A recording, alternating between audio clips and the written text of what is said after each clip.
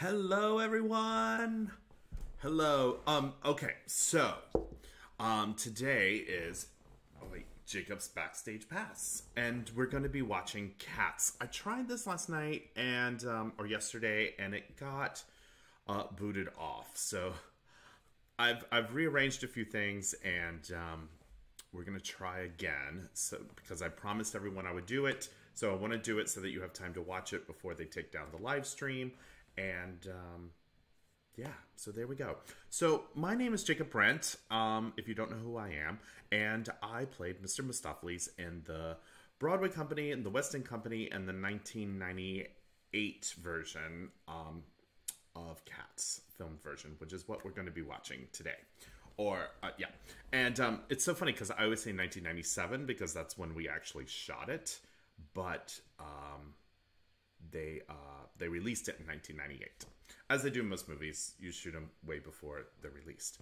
Um, so I thought it would be fun just to kind of go through, watch the movie with you, and um, give sort of an impressions of um, give some backstage, you know, um, tidbits, and really kind of um, explain the movie. A lot of people don't understand cats, and I totally understand why. But there is such a beautiful story here, and um, maybe maybe we can finally like once and for all clear it up and let you know what it is. Um, it is morning here, so I am having a little little tea, a little tea with Jay. Um, that's Jacob. Uh, I don't know why I called myself Jay. I never speak. I never call myself Jay. Okay. Um, maybe I'm nervous because I'm live on YouTube. Hey, YouTubers, what's up? Here we go. We're gonna try it again and see what happens. All right. Um, yeah. So I was in the Broadway production for. I joined in '91, and I think in '96, '96 we broke the record of longest running Broadway show. Is that right? Um, maybe in the fall of '96 uh, and um, I was Mistoffelees in that production, and I um, and at the party they asked me to do the they were they told me they were going to do a film of this, and I thought um, ye, that was never going to happen because, or if, if it was going to happen, they certainly weren't going to ask me because no one in Broadway usually got the film roles. So, um, and about six months later, they called me and asked me to to to go get on a plane to come over and be in the film. Um, so it's truly just extraordinary, and um, I just want to make sure that everyone knows, like, I understand how blessed I am and how um, magical and special and what what a wonderful opportunity that was, and it has afforded me and really just changed my life. So everyone involved in that, thank you so much for trusting me um, with this role to do it. Um, it was a really wild, crazy experience from the get go because even getting over there was a crazy experience. It was like touch and go all the time. It was like um, go to the go to the airport. No, stay. Don't go to the airport. Go to the airport because they they had to work out my work visa to get over there. Um, and it was like last minute, and people were running around. It was it was, and I thought even then I thought, oh, this is not going to happen all of this and this is not going to happen. But it did happen and it was a wonderful amazing experience that i hope that i can share with you. So here we are. We're going to start. Um, what you're going to need to do is pull it up on youtube. It's running live right now. Um, uh, through andrew andrew's what uh, youtube i believe? Um, or the show must go on or something like that. Just type in cats and it's running. Um, it might and shortly overseas, and I think it's here till Sunday in the States.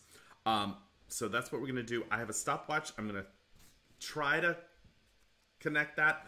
I've put the times in the um, in the chat or in the, the description. So if you get lost, um, you can kind of look for that, and I will tell you that uh, the title names as we go. Okay. Um, hi, Diamond Sword 400. Hi.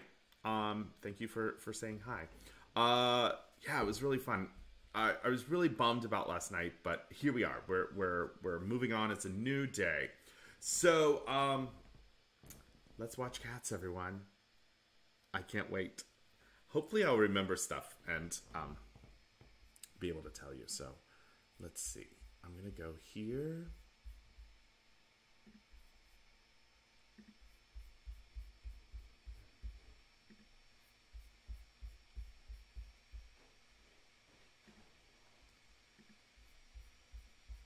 So I didn't start at the beginning. I started right at the overture.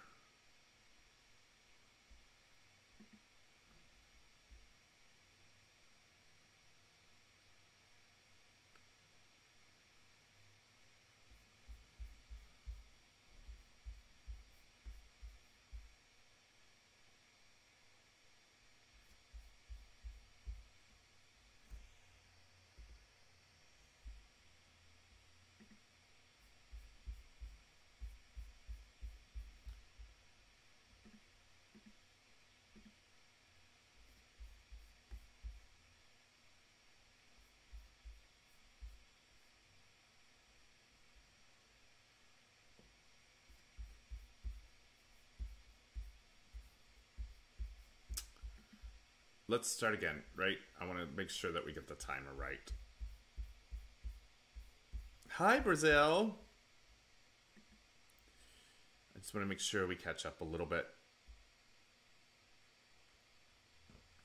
Bum bum bum bum bum ba bum bum bum bum bum bum bum.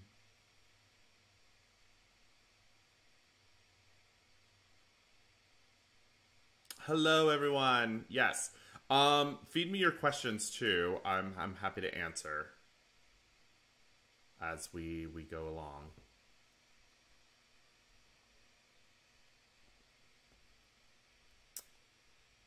Oh, I I know what happened. Yes. It's because they had a commercial in front, or they had a, a, a notice to to um, donate to Broadway Cares or um, the Actors Fund, absolutely, you should do that. Um, so that is what, and that those links are in the description. So if you feel like it, please, please donate because it, people people need help. People need help right now, and we can help them. Okay. Um, I'm gonna get this here. Okay. Now I think we're kind of line up with this.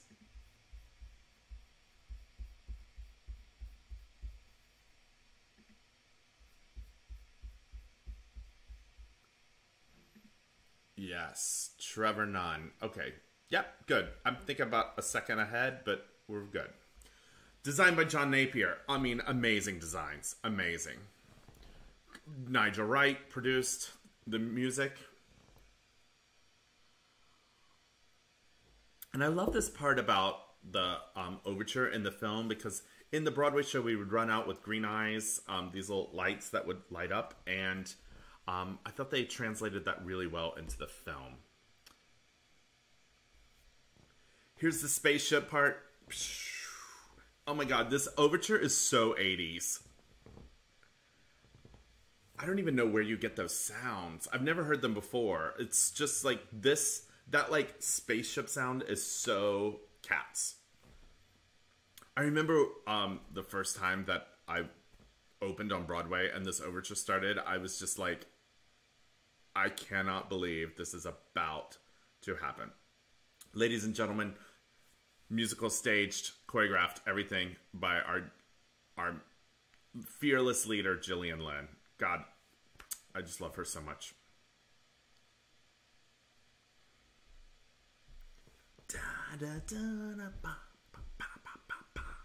I love that that drum. Bum bum bum ba. It's so fun.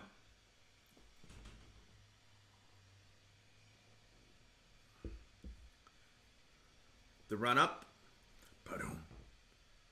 And then look at that beautiful set with that beautiful moon. So good. Okay, so now what's happening here? Is it we're in a junkyard. The train, uh, the the train. The car comes across. That's Demeter. Demeter has been kidnapped by Munkustrap. She knows that all of uh, Macavity. Sorry. She knows that all of the cats come together tonight on this one night to have this jellicle ball. And she knows that if she can escape Macavity, she can get to the rest of the tribe and be safe. Look twins. Coricopat and Tantomile. Brilliant. They're just stunning in this movie.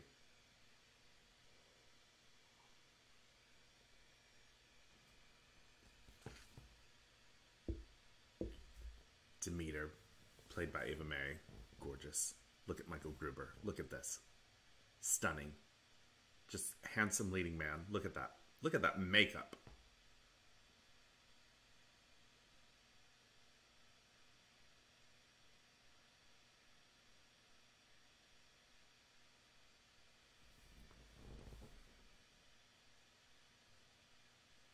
So all these opening lines are questions.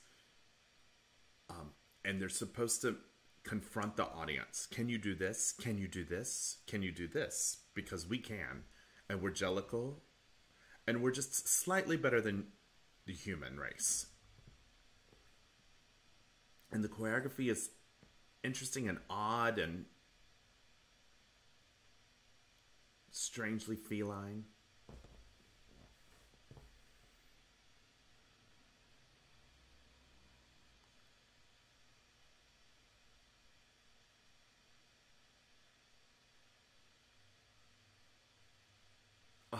that voice, Ken Page. Are you kidding me? Yes. And, and we're saying, you sit down and we'll tell you a story.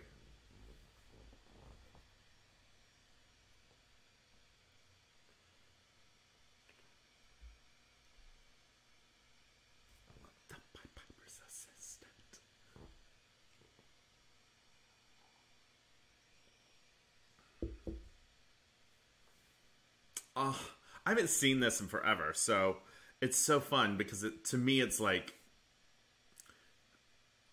okay, close up. Um, to me it's like if you went back to a high school reunion, reunion or a college reunion or something like this is like um, and then to have that on video, it's kind of crazy just to see all these faces and people and remembering everything.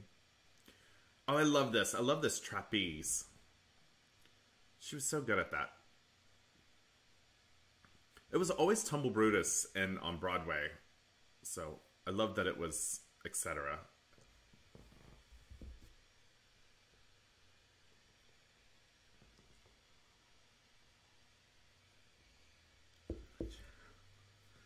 Speak with your bombs?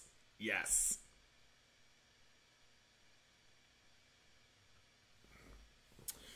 Oh, okay, yes. That picture that I'm backstage taking, I'm taking a picture of. I'll tell you in a second. So, ah, oh, this is my favorite part choir on the tire.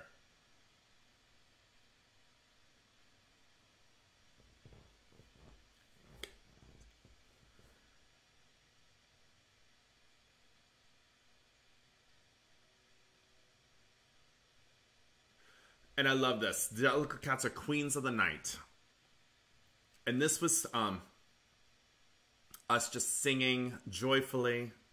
There's so much joy in the show. And the boot. Okay, so the boot is supposedly, supposedly, we are out singing in this junkyard, and there's a house or or apartment building next door, and they're tired of listening to the cats just howl, so they throw the throw the boot out the window to get us to shut up. And now here we go with our favorite, my favorite, our Pledge of Allegiance. The mystical divinity. So yeah, the direction here was you must sing this like you're singing the Pledge of Allegiance for your own country and that that pride that you have for for wherever you're from and whoever you are. And the middle finger must be touching the knuckle of this middle finger oh, it's just the detail that Gillian had for this. And I love these shots because you can really see everybody and you can see all of the makeup. Here's some of my favorite lyrics. Fearless, faithful, and true. Come on, T.S. Eliot. Come on. You better write some lyrics.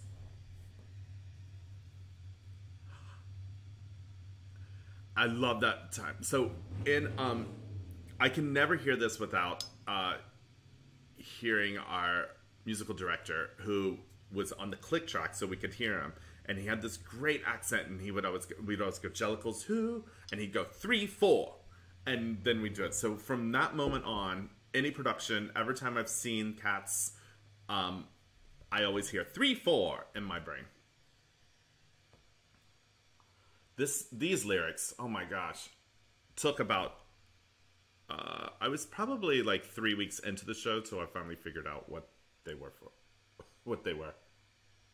There was a lot of cats cats.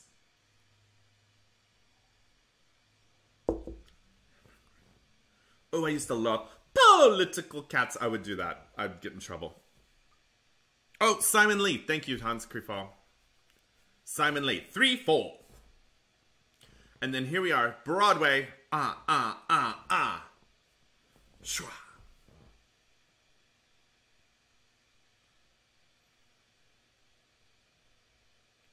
So if you also look in the opening on that position, it's the very first time that we as cats really open up and present ourselves fully. And if you like a like an animal protects itself and only when they feel completely comfortable do they like open and let you see their belly. So that's sort of what that interpretation is is that we're fine you're gonna stay there we're gonna do that and so we open.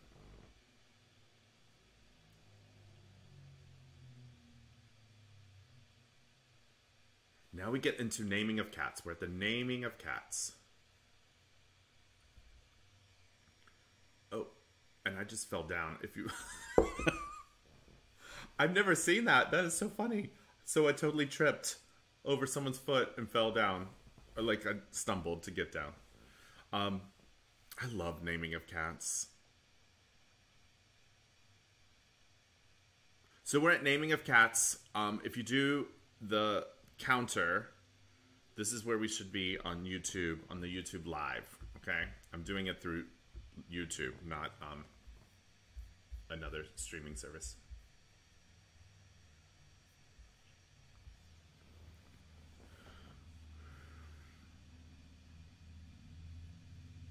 So we shot this movie over it took three months to film. We rehearsed for a month. All of these people are from different companies all around the, the world.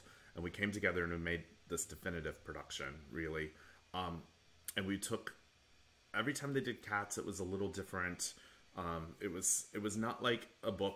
There was not like a, a Bible book, what they call the Bible for for a show um, of choreography, and it was just set the exact same way. Um, it was sort of always a little bit changed up for whoever was doing it. So then we had to take all these different companies and put them together as one and figure out, oh, let's steal that from Broadway. Let's do this from London. Let's do this from Paris let's take this from the Hamburg company.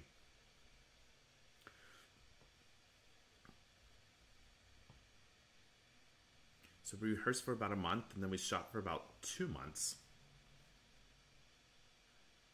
which was makeup every day, 5 a.m., sitting in a chair. Um, we had makeup artists do our makeup. For the show, you do your own makeup. And for the movie, we did um, we had someone we had different makeup artists do our makeup because it had to be the same every single day. So they so you would go in 5 a.m. sit, they do their makeup, then a full dance, full ballet class, um, and then we'd get ready and um, we would go start filming.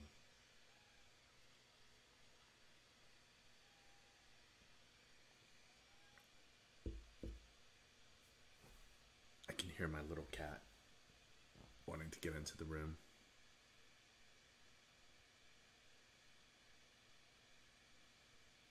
So people have asking um, if we recorded the vocals before, and the answer is yes.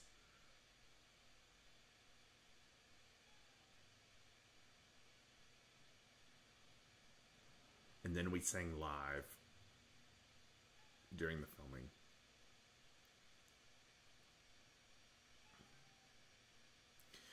And now I love this next part. This is to me just quintessential Gillian Lynne. Sophie line. Look at that opening. And this is Phyllida, who is just stunning.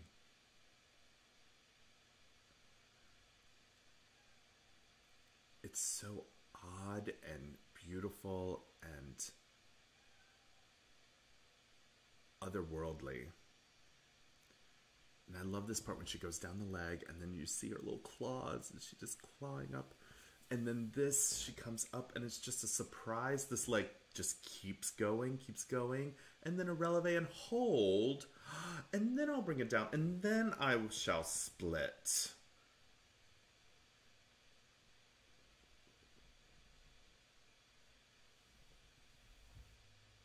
And then reaching up to the moonlight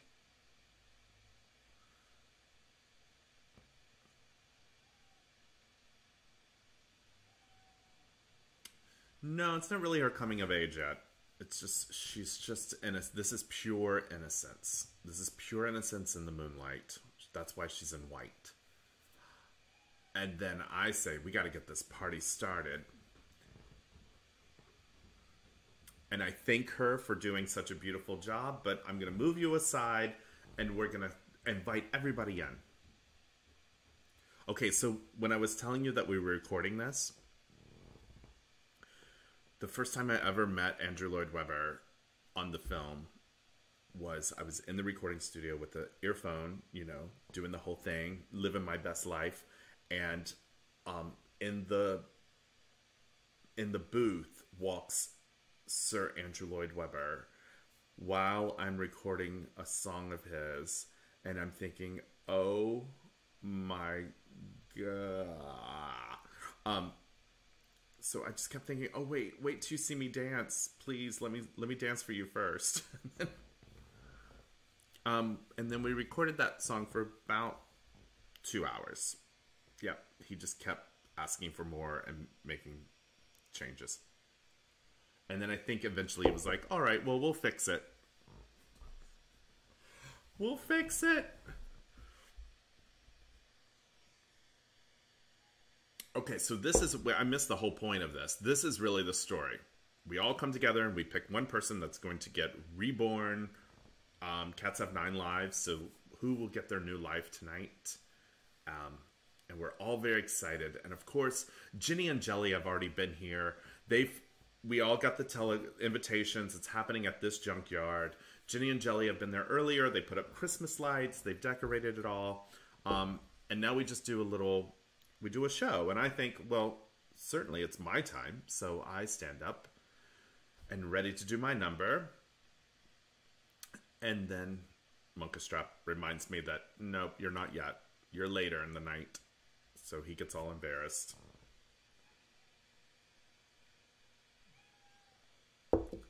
Okay, keep going. I'm going to be right back. I've got to let my cat in.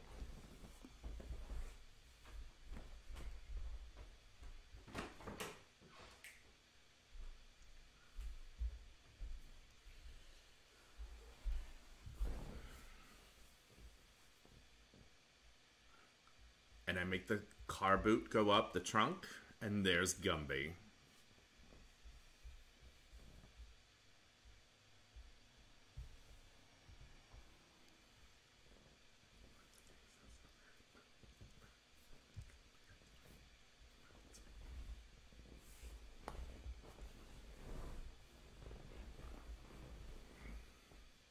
Look, it's a little Munkustrap.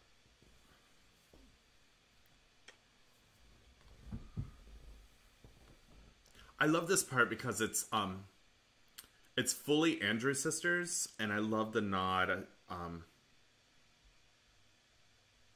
um I love the nod to you know we're about to do a um a military time a military tap number. And um just the fact that that paired with the like Andrew sisters um feeling is just so brilliant. Uh, brilliant on Andrew's part, Sir Andrew's part, ALW, um, that he he used that vocabulary. Thank you. His name is Oliver. because we found him, my cat, we found him on the street um, in the rain. He was just a little, little baby cat. And so we named him Oliver. Musical theater nerd.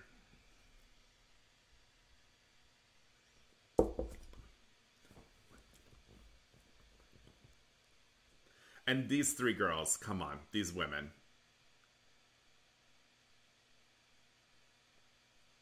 So, these aren't actually cockroaches. Um, they're the cats playing cockroaches. Um, Jennyanydots has put this number together, and she's had rehearsal all week for it for the big for the big splashy number. And we've made our own Beatles costumes out of things that we found in the trash.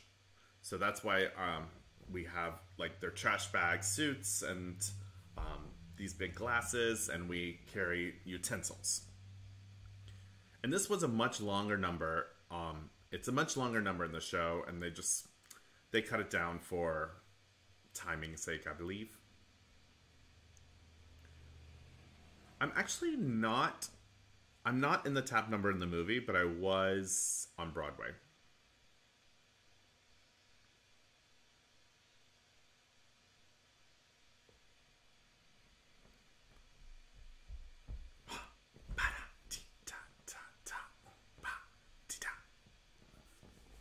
I actually liked not being in the tap number in the movie because this was a day off for me.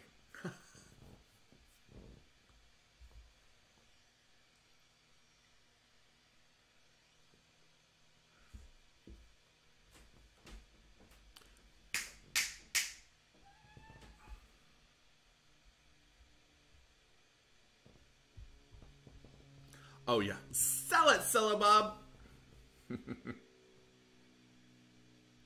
And no, everyone's congratulating her. Oh, she did such a good job. She's like, I know, I know, I know. And then what happens? Late as always, with an entrance.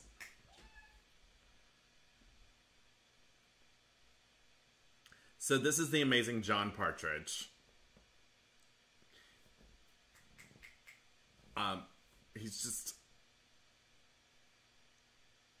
I love his Tugger. Okay, so now he's gonna kick this ball of yarn, and I'm supposed to catch it, but on this take, it didn't happen, and I totally miss it.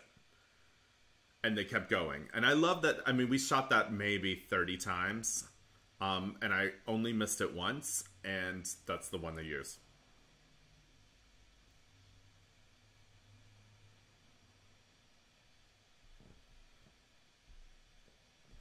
I love this choreography. I think it's some of the best choreography in the show. Look at little Syllabub. Although we call it, she's called Jemima. No, what is? Yeah, Jemima. She's Jemima in this. So she's either called Jemima or Syllabub. Um, depends on what country and which production you're in.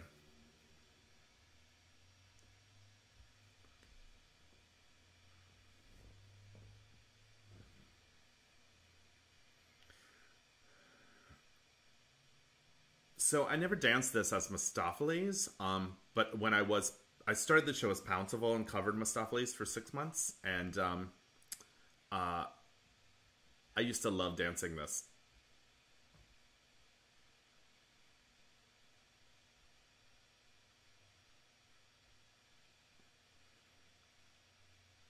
And there we have the amazing Rosemary Ford.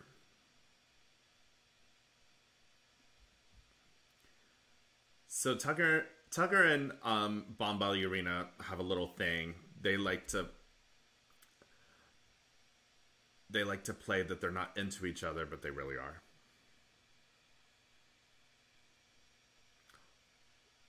I love that shot that she drops down into the split.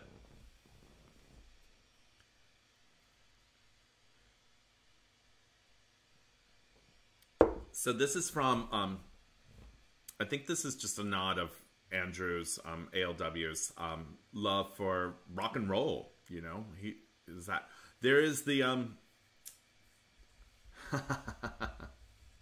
so in the show, uh, he would run out in the audience and pick up somebody or get somebody and um, uh, dance with them. And um, kind of cause havoc. So we couldn't really do that in the movie. So we came up with all this that he would run around in different vignettes, and um, I love that the the Ginny and Jelly were needle pointing, and um, that prop took like forever to make. I just remember these two people just for days and days do, making it, and then it it's on screen for like three seconds. So I guess yeah, I mean Tugger's based on Mick Jagger, um, Elvis, um, Little Richard, um, maybe a little David Bowie in there.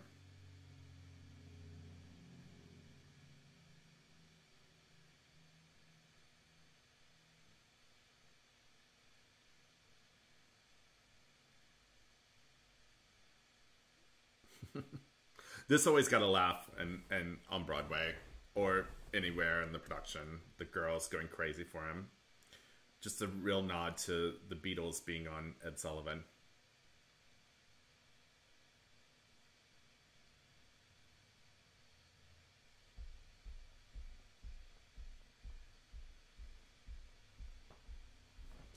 And then this part was fun to dance because we could dance, and then we could. It was free boogie, and sometimes you could just live your life in that free boogie and try not to get notes from the dance captain.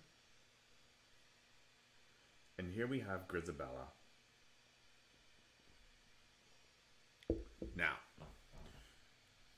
I'll tell you the Grizz story. Grizz used to be in our. Um, I'm gonna take this out because it's easier to talk. Um, used to be in our tribe. And she decided to leave the tribe um, to go off and be a famous actress, if you will. Um, and that did not happen, and she ended up falling on hard times and maybe just was going to be the star and kind of fallen. And um, and now she's coming back to ask for forgiveness. Again, she knows this night happens. This is the night the Jellicles happen. Um, that we come together. Now, Demeter, who has been traveling around and escaped, has actually seen Grizabella walking around and knows who she is. So the adults, the adult cats in the, the tribe knows who Grizabella is. The younger cats don't know. That's why um, yes, Pouncival's so rude. He's not rude. He just doesn't know. He's like he doesn't know. So he comes up and he scratches her. But the other little kittens come up. See the little kittens here? They're coming up to smell her to see who this is. And Jellylorum knows who she is and says, "Wait, wait, wait! Don't go there." Um, Bombalurina and so Bomb Bomb and Grizz should actually be closer in age. Um, they were sort of best friends, and then she left, and um,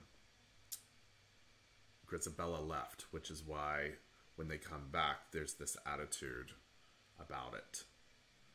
And she and Munkustrap have a little thing, and so she comes back in and she confronts him and says, "Are you going to let me back in?"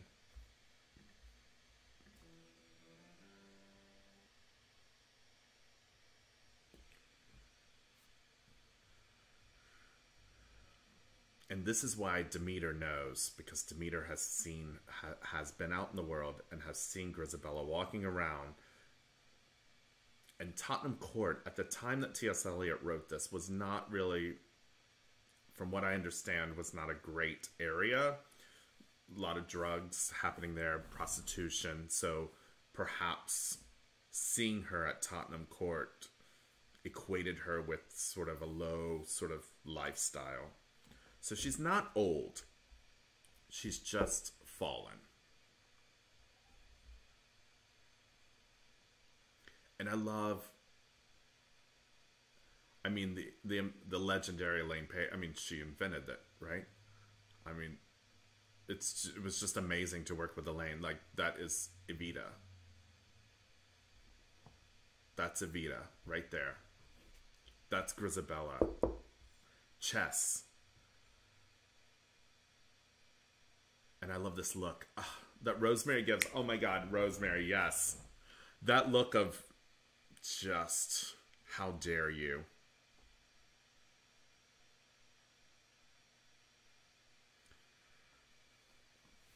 Yes, I know. There's a lot of stories about this, and I'm clearing it all up.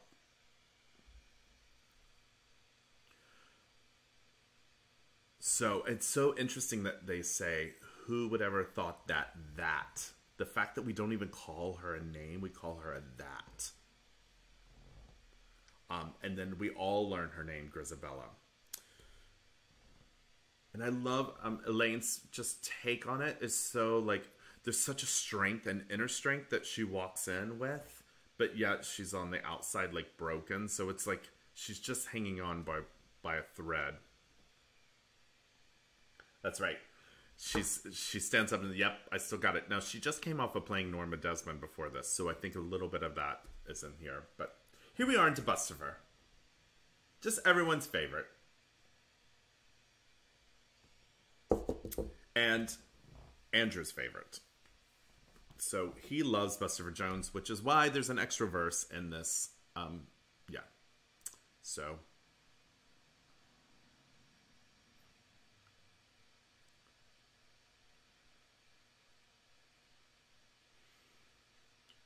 we love Bustopher so much, and it would be so nice and um, amazing if Bustopher stopped and stayed and and gave us a little story that we love so much. He's Bustopher's your favorite uncle. He's your favorite uncle that comes to the party and you know always has a little story to tell. And of course, I love him as Mistoffelees. Mistoffelees loves Bustopher because we look the same. But he is not my dad.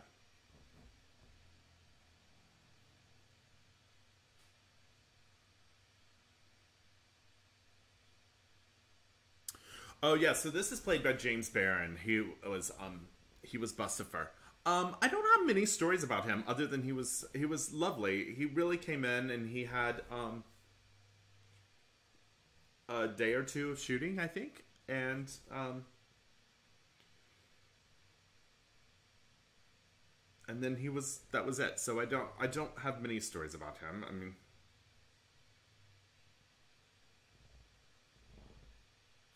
I just love this choral this choral sound here.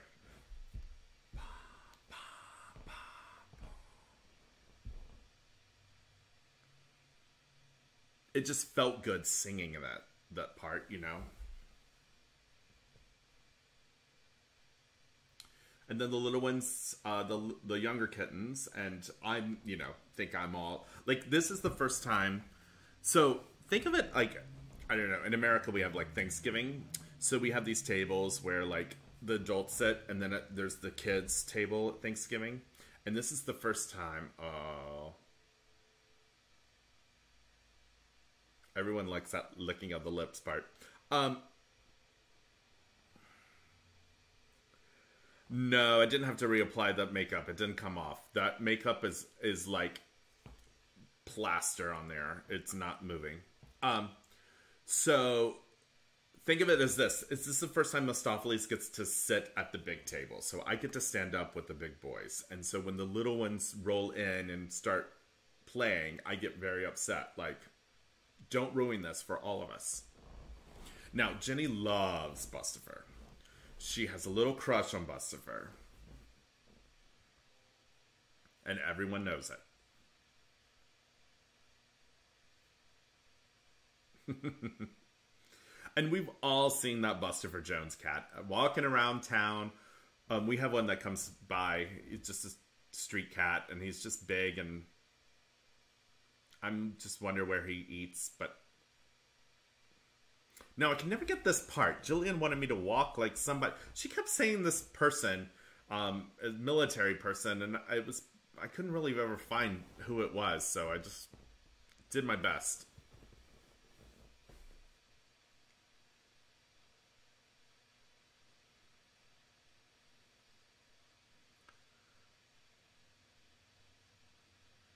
Yes, I love that. That he gives her a little flower and she faints. And then what's happened? Macavity wanted for everything. So we think it's Macavity, the meanest cat on the block, and everyone's going to hide, but it really was just the cops. And we hear this car. And so the big boys, the older ones, are going to protect. That's Alonzo and Macavity and Munkustrap. No, Ginny and Skimble are not a thing. Ginny and Skimble are, are friends.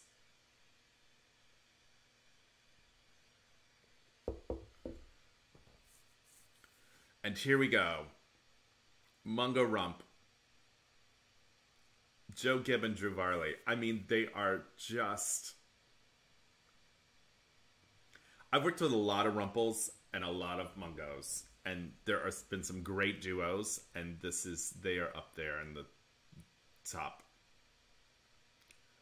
But I do want to say there have been some really great ones that are not on the film that have just been fa- fabulous. Papa. I think this is some of Gillian's best choreography too.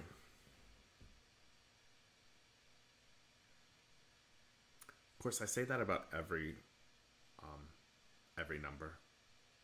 This whole show is just brilliantly choreographed. Just absolutely brilliantly choreographed. It's not jazz or ballet. It's not it's everything has its own vocabulary and it's not like Broadway choreography. Um, yeah. And choreographed in 1981 and not a pas de bourrée in it. You know, it doesn't look 80s.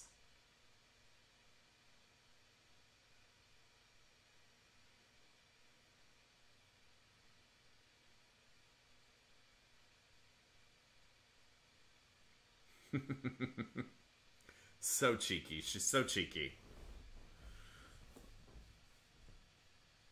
So Jo and um, Drew were really good friends of mine during the filming. Jo and I kind of really connected and just hung out a lot. Um, I love that little step that they did.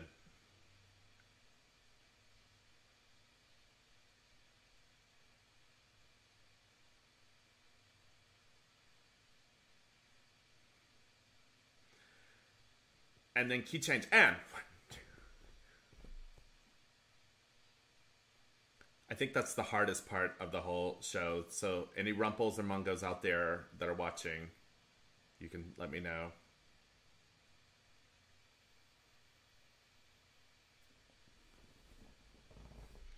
This was good.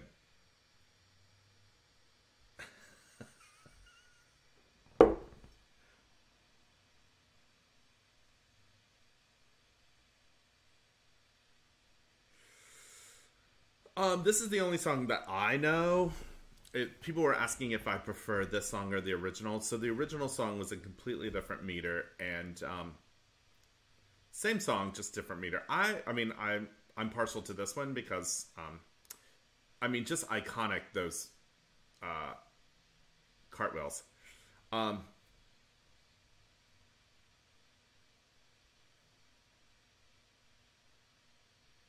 And so then we we realize the cats realize that it's just Mungo Rump, and they're just just causing havoc. So we go back and we we take their loot that they've gotten, and we um, we throw it at them and say, "Oh, now he he picks up a sense."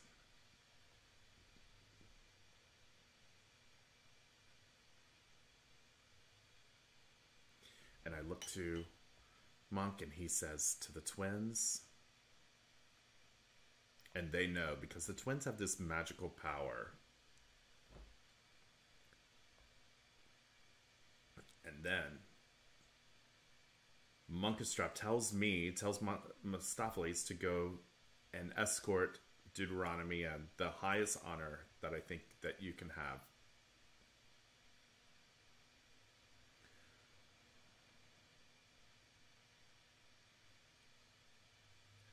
And now the cats are going to clean themselves and listen to the story of Old Deuteronomy. Now,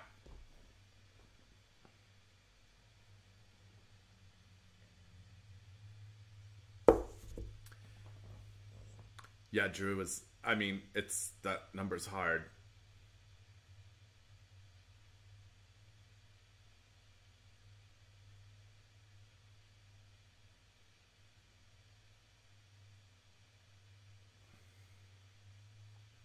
So, Old Deuteronomy does not come to every Jellicle ball. Um, he, I guess, an invitation's maybe always sent, but he just says he doesn't always show up. So the fact that he is showing up at this one is huge ordeal, and there's a reason why he's showing up at this. So my friend Hans, who was in the Broadway company with me, is watching, and he reminded me of selfishly stretching. Yes. So you had to make a weird shape, but you couldn't. Um, you weren't supposed to pull focus on that on that stretch. Um, and one time, from the back of the theater, Gillian yells, Two people are selfishly stretching. So we were, pull, somebody was pulling focus. I don't know.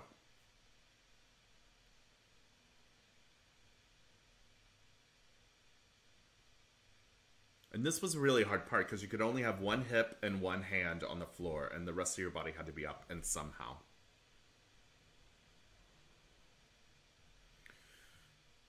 And we see Deuteronomy coming from afar, and we get into our our wedge. Uh oh.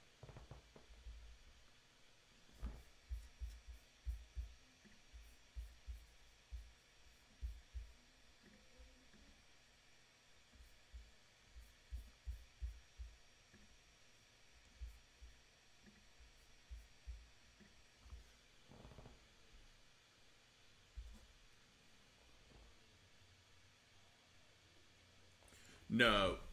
Oh, and here is here he is.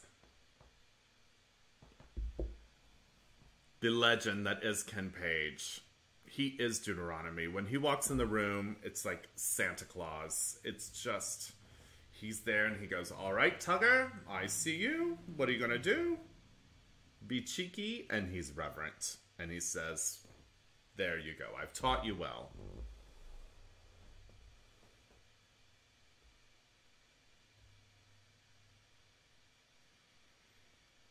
And then listen to this voice.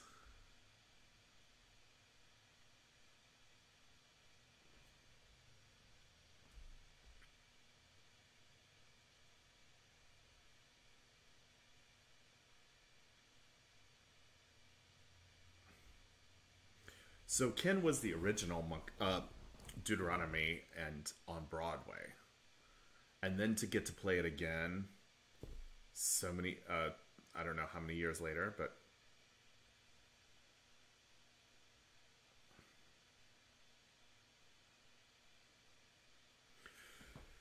So now that he's here, we can proceed on with the show that we've done. So this Peaks and Pollicles is really Munkustrap's moment to tell the story of the Peaks and Pollicles, which are dogs. So now, as cats, we're going to make fun of these dogs. And this is really just um, done as a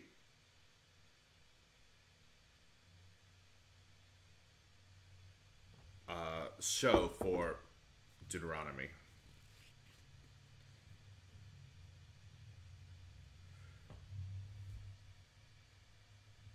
There are so many words here. I mean, and Gruber's just so fantastic at doing this.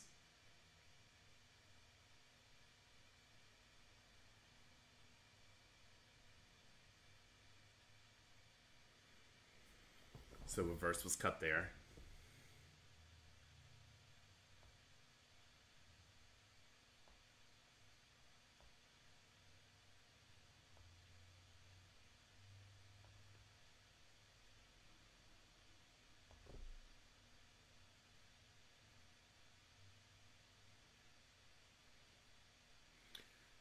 So this is um yeah, Mungo and Rump. They play the peak and the pollicle.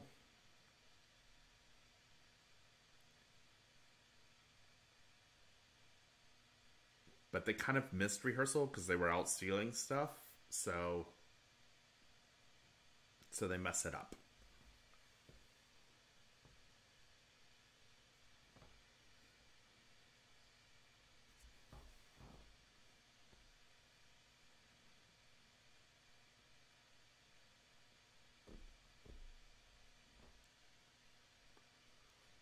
No.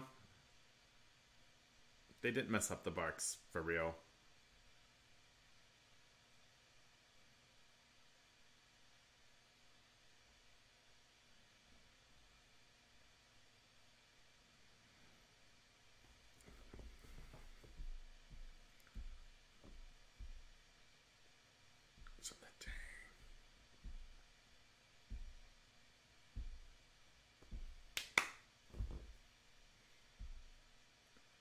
So here the cat's playing big dumb dogs.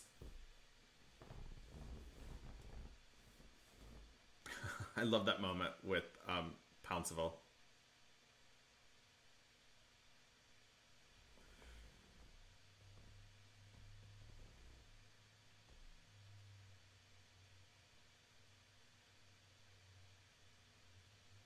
And of course, Tugger comes in to mess it all up because he wasn't at rehearsal and he wants this to be all about him. And um, Trap tries to save it. And getting frustrated that the number is not going the way he wants it to go.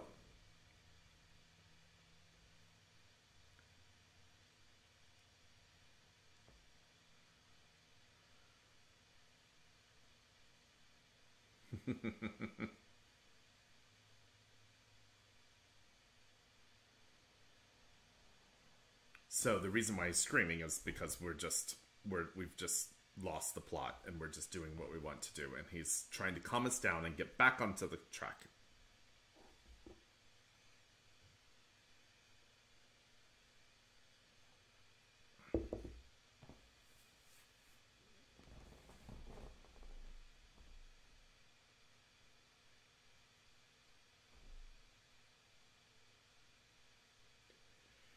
So he was supposed to enter from the other side, and then he missed rehearsal, of course. And um, so this is really isn't really isn't a different cat. This is um, Admetus playing the Great Rumpus Cat. So this is played by the um, fantastic Frank Thompson.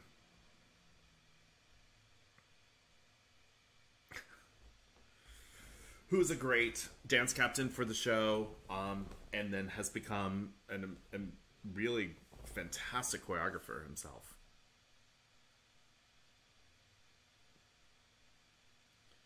And this great costume, just like with the shading.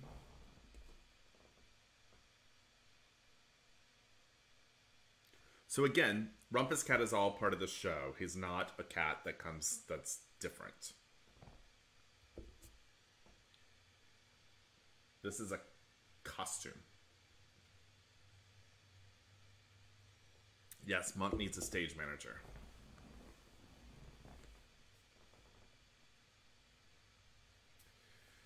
And we're ready for the big finale, and then Tugger just interrupts it again, like, hey. I love singing this part too.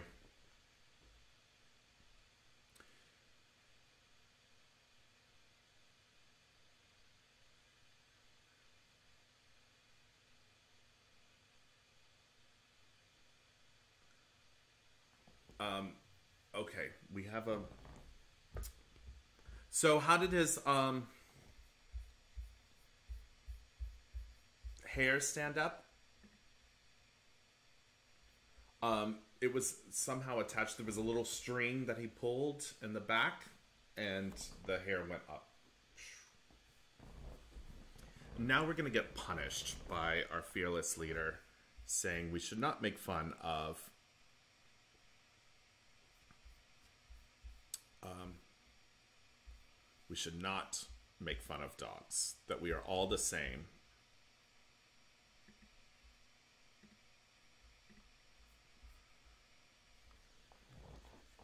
And now Macavity is real this time and here because he has heard that Deuteronomy is here. and everyone is hidden. And Munkustrap is making sure that everything's fine. And somehow it looks like Deuteronomy's scared, but it really is just Mistoffelees behind him. And he says, Mistoffelees trying to be a big kid now, and he's sent off to the pipe. And Munkustrap is not going to leave Deuteronomy's side. And Deuteronomy moves him aside and says it's okay. And little Victoria, being innocent, not knowing what's happened or what this sound is, is investigating.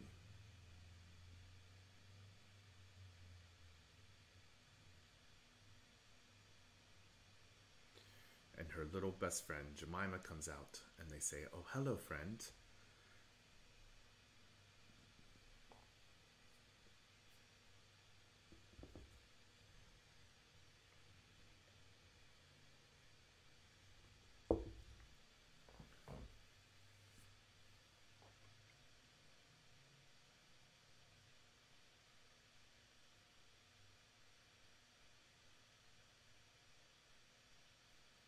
This is the amazing Jason Gardiner playing Alonzo in a black and white costume, which I like. Um, so in London, the costume for Alonzo was black and white. They changed it for Broadway, um, and I prefer the black and white costume. And Jason was a great friend too.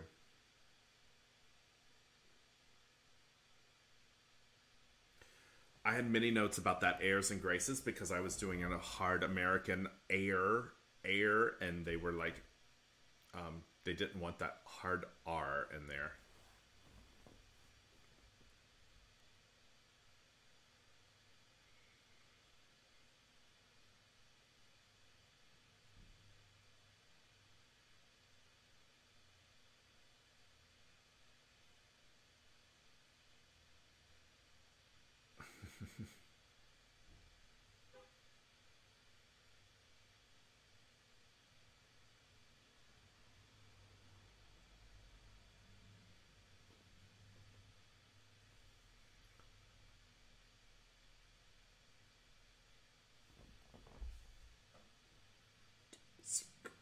powers.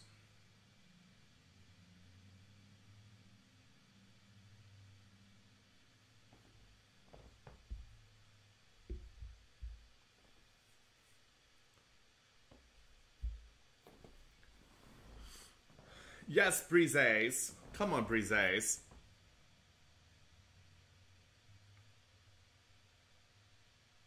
And then we just whirl ourselves up into a sort of frenzy and then open up into this big Jellicle Cats.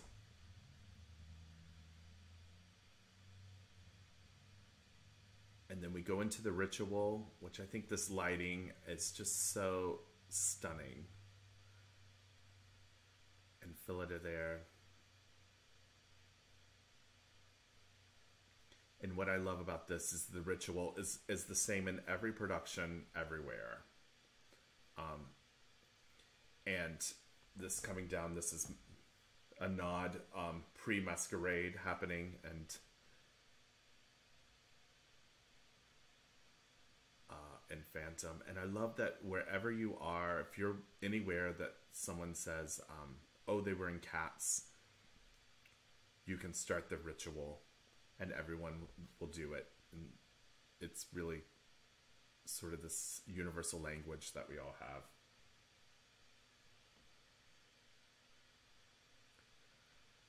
And reaching back and just to the moonlight, receiving the moonlight.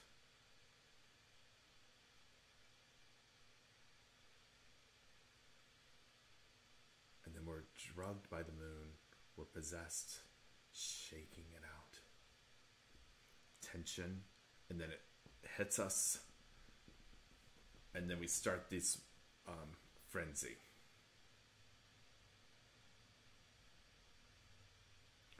Yeah it's nod to phantom except for this is before phantom so really phantom is the nod to cats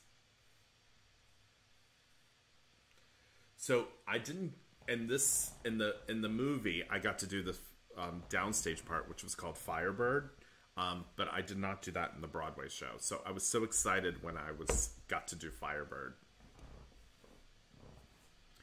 British Airways. This is supposed to be seeing an airplane, a British airplane going across the sky, which is why we follow it and we head roll.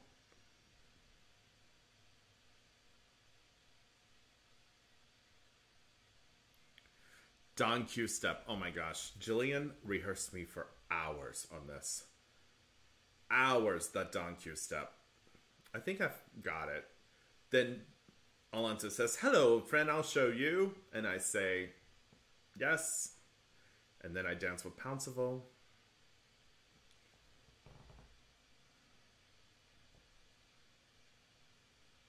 And here comes Tumblebrutus, the lovely Fergus who Fergus was actually a Mistoffelees at the time in the London production.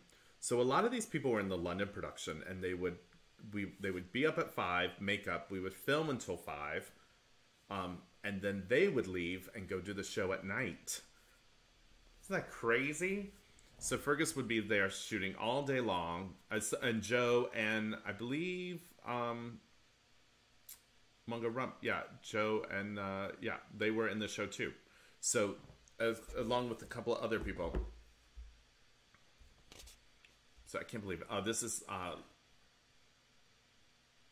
Honky Tonk. Isn't this, that's what this is called? This is Honky Tonk section. Yeah, Jo and Drew in the show, and they would leave and go do the show at night. I don't know how they did it. So this is usually Munkustrap and Pouncival, but since Fergus was Mistoffelees, um, at night I think they led they changed this to be Tumblebrutus.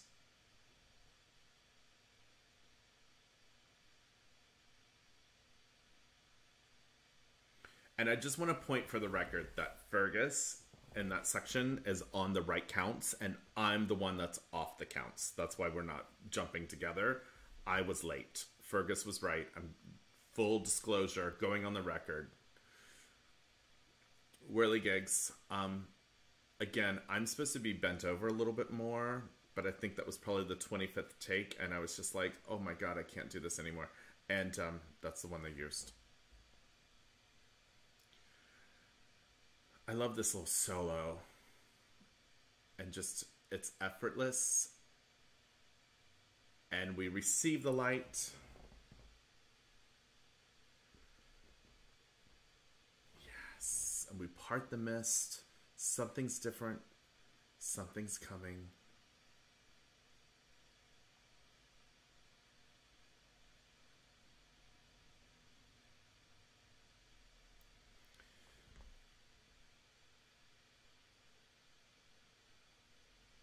And sort of, so this is now.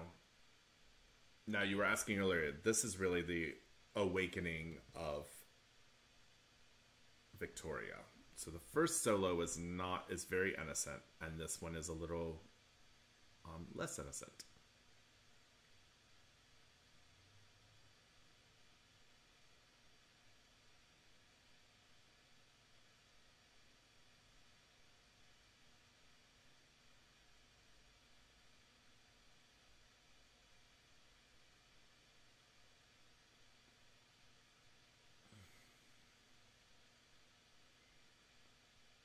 Just beautiful. Everyone's just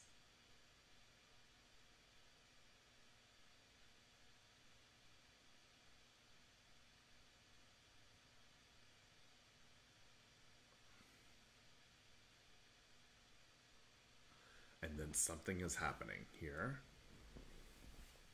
Yes, Bryn. Bryn plays um, Plato and Macavity, same actor, but different roles. So Plato is not Macavity. So we see that Grizabella has come back, and I say, let's get this party started again. And I turn on the lights, and we go into my favorite part. And we dance.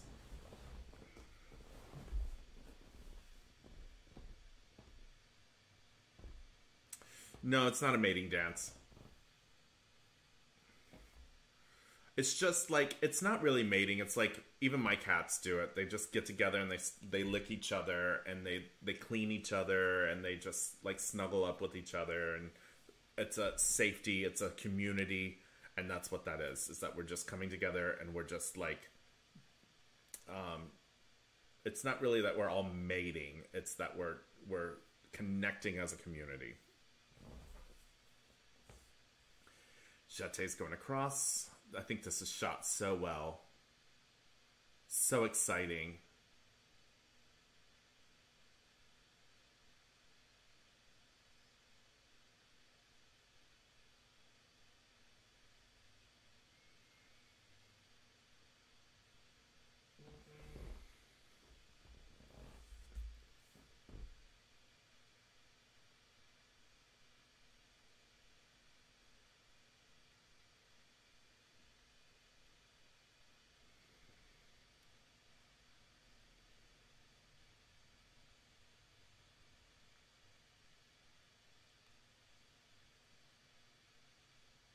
Ladies Latin that gets cut and mm,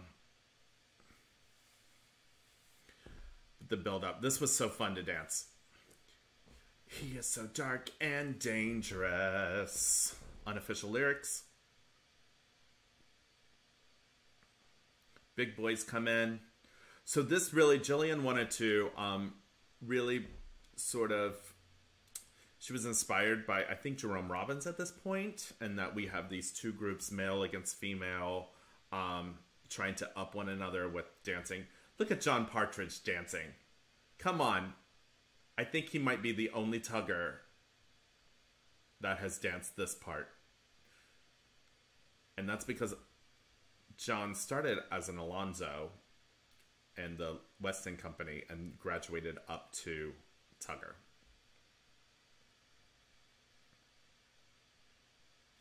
This section was so it was a little different for me. So I they I did not do this section and then came in for Warsaw here.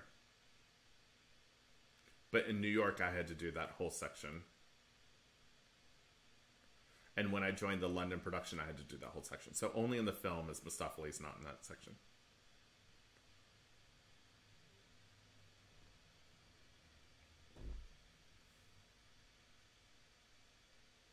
And I love this drag step, drag step, drag step. Reach and reach, swipe and serve and ah and sha. Yes, and this is just you're putting it all out on the table, and at this point in the ball, you're so freaking exhausted because you've been dancing for 11 minutes, and you just have to give everything you got to do this and get those legs up shoo, um, shoo, into the sixes. Da da da, um, ba, um, ba, um, cha. Da da da. One, two, three, four, five, six. One, two, three, four, five, six. One, two, three, four, five, six. Run up, and then your last jeté for your life, and end on the floor. And then we think we've done such a brilliant job that we turn around and we say, aren't, aren't we so great? Deuteronomy? Like, what do we do? And then Grizabella comes, and we think that she's interrupting again, and we get really upset. And I love this. John just walks by, pops his collar, and keeps walking. And little Jemima saying, Well, I- will touch you. And the older cats say no. And Demeter doesn't know what to do.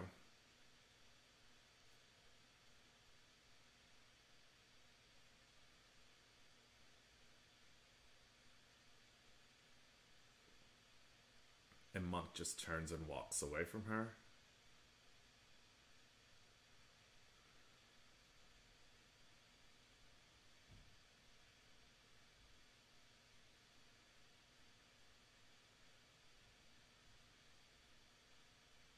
And little Victoria almost touches her. and I love that. I love that Susan Jane just was like, no. I know that Violeta is just that face. It's like a little anime face. and I just love that part. I kind of love that part because it gives a chance for Ginny and Jelly to show something else, and they show this fierceness toward Grizabella. And now this dance is just Grizabella all alone. She thinks she's alone, and she's gonna relive the moment. She says, "Well, I can still do it. I can still dance the ball." And she sees her hand not looking so good.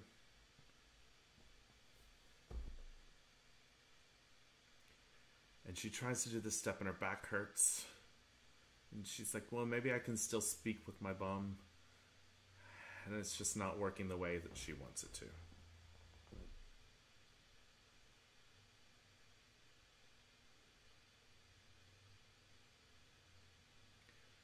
This walk here. Yes. And how it just fades away.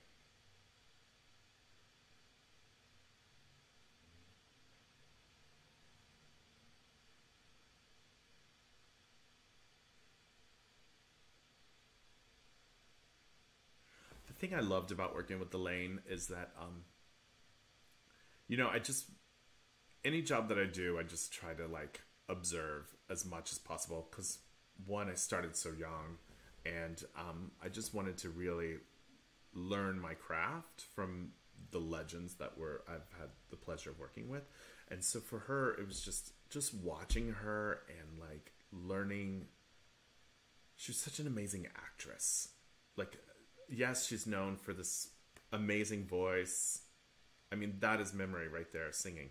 Um, the voice of memory, but it just her acting. She knew every moment. She worked through every moment. I just was Im- impressed and inspired by her.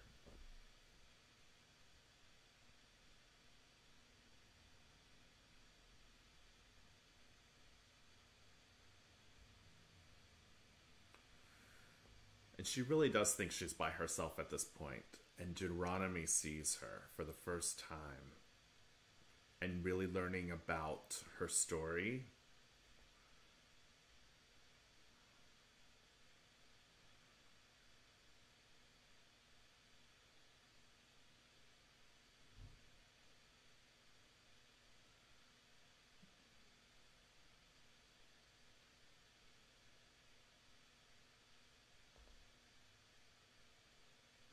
This costume is so beautiful too.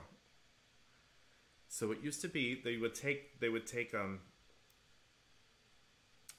yeah they would take a coat they would make a coat out of like muslin or fabric and they would take these um, fur pieces and actually glue them on to make this and then they would like rip it and shred it and um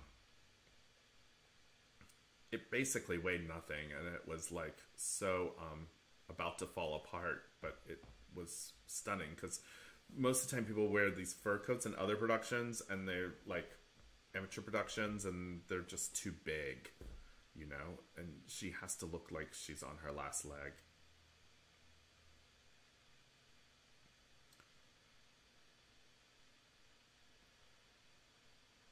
And she walks and she thinks okay well that's it i'll walk away and then Deuteronomy takes this step. And she hears something and thinks, oh, is there someone there? And she reaches back and she reaches back. Is someone there? Anyone going to touch me? And she realizes that maybe it's just, it's not worth it and walks away.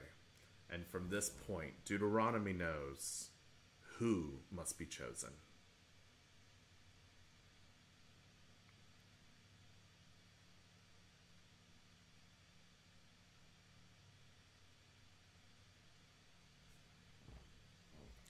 So that was usually intermission.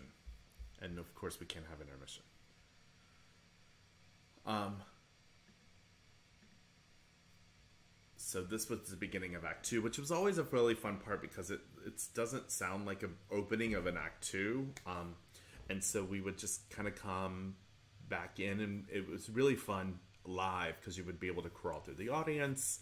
um, kind of come through people, um, come out whenever you wanted. Well, no, it's all timed, so not whenever you wanted, but it was a great time to play.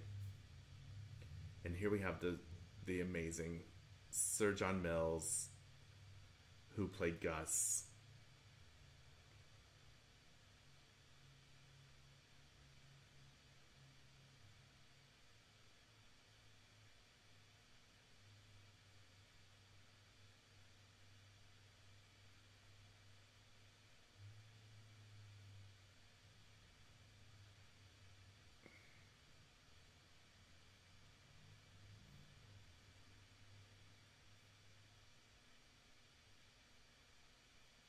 Munkustrap, the leader, showing reverence to um, Gus. Would I work with John Partridge? I would work with any of these people again in a heartbeat.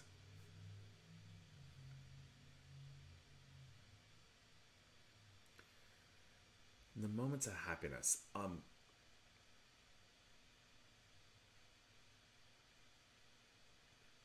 really Deuteronomy's moment to tell us about the reflection that he's just he's just had with Grizabella. He's ju- just learned this information, and now he has to somehow convey to us that we need to come together and forgive Grizabella. Um, we need to look in our own lives and realize that we've all been there, are all capable of being there. Um, and that we are all one and that we're we're sort of the same and that we can um any of us could this could happen to any of us and we need to come together but we have to find it out as a group which is sort of the brilliance of Deuteronomy is he doesn't tell us who to choose. We have to come together to figure out who to choose collectively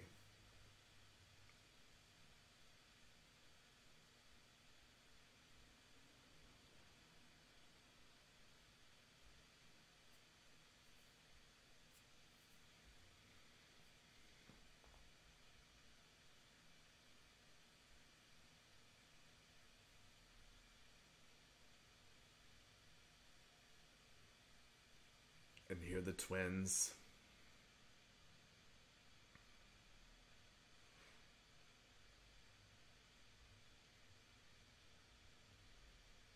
And they receive the energy from the ground, and Jemima stands up and sings. Now, this used to be. I'm sorry, I'm just watching. And she's the voice of innocence and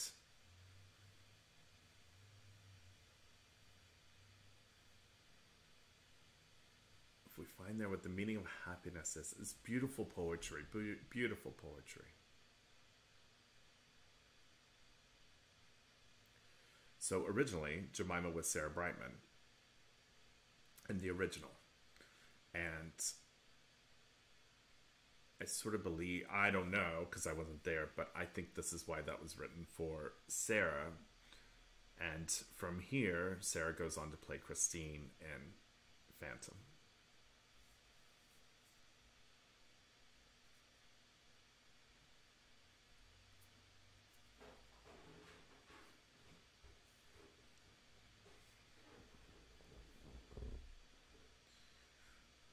I used to love this part and then we are supposed to feel the energy coming from the floor as if like a like a tree like the roots of a tree coming into you and the energy building building building so you have nothing else to do but to stand up and one count stand. And we rehearsed that for hours hours.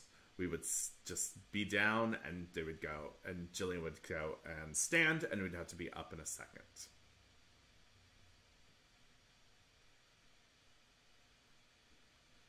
Hi, Fergus. I just gave you a really good shout out earlier. I'm so glad you're here. And Gus starts to walk away because he doesn't quite know where he is. Perhaps a little dementia. And Deuteronomy says, "Oh, Gus, won't you won't you stay and sit?" and tell us a story. And he, I think he's a little too nervous or doesn't quite know what's happening. So his his caretaker, Jelly, is gonna say it for him. And I love that little shoulder that she does just to comfort him.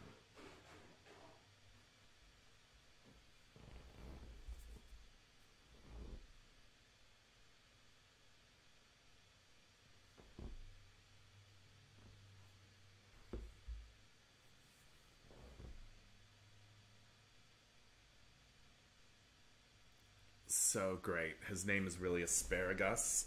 Come on. Come on.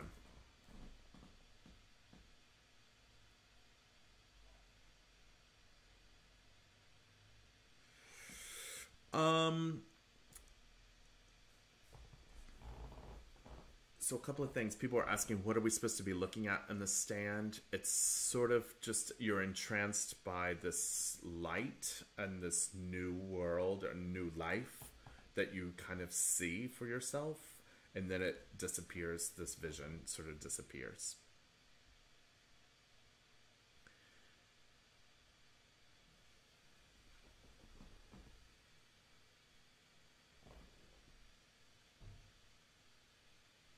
So this is the amazing oh my god sue jane tanner who was the original Jellylorum in 1981 she created Jellylorum legend.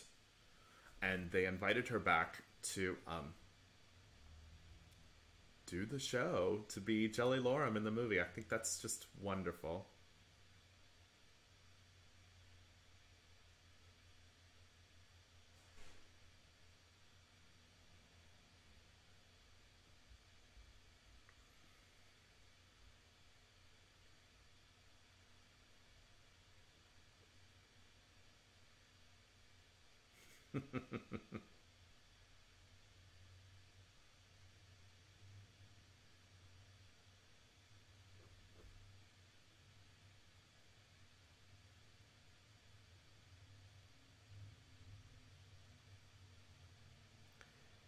yeah, she Sue is really the a, a brilliant Jellylorum because she created it.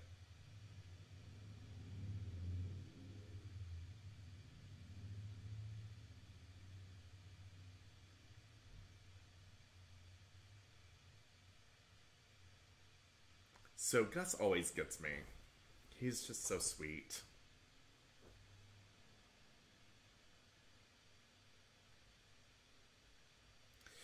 And so Gus is always supposed to be here. It's, it's not like he just wandered in. He just was a little slower getting here than everyone else. So, um, and it's pretty much known that this is Gus's year, that he's probably going to be picked.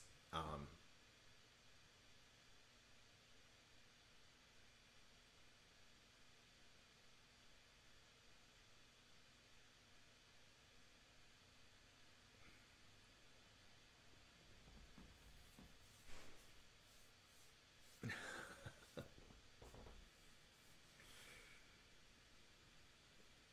I just love this um, this idea of a cat being in a theater, and I I guess um, and they would they would have cats to keep out the rats. So when he says Dick Whittington's cat, um, in panto we don't have this in America, but in pantomime there's the um, the uh, the the the gesture of that you slap your knee, and that's um, Dick Whittington, sort of his gesture. So.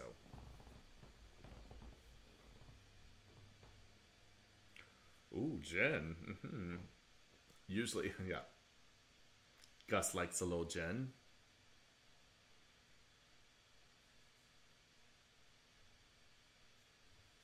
So you can see me sitting up there, and I can tell you that bumper was about an inch wide, two inches wide, and um, I'm literally just holding just core work the whole time, holding myself up on that bumper.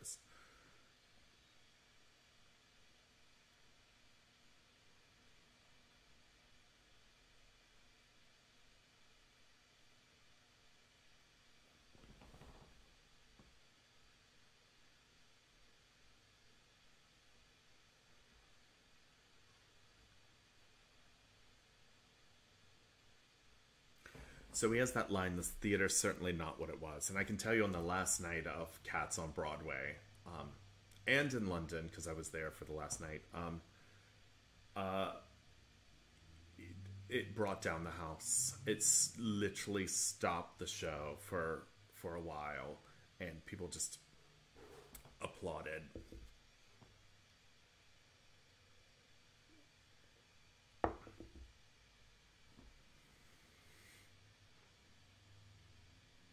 So this is the ghost of his younger self playing in the opera Growltiger.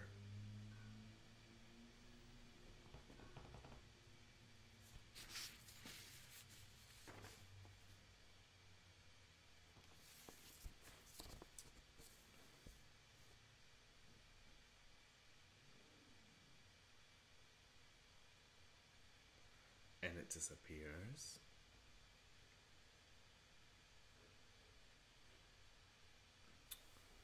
Um, who? Sorry, I'm just looking at the chat. Who played uh, Amidus? Who was, um, I believe, Tony Tony Timberlake played.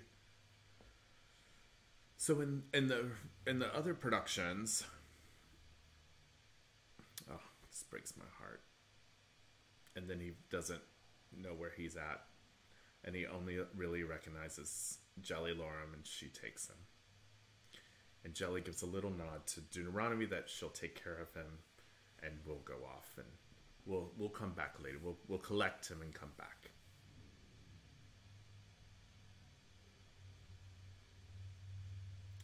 And then Deuteronomy sees Skimbleshanks and says, Ah, this will get everybody going.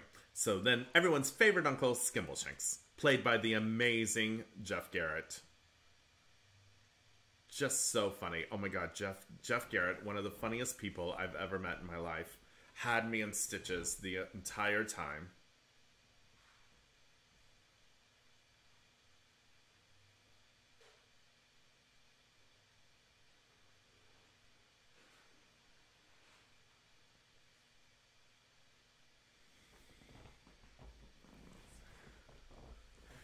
And this was fun because I got to be in Skimble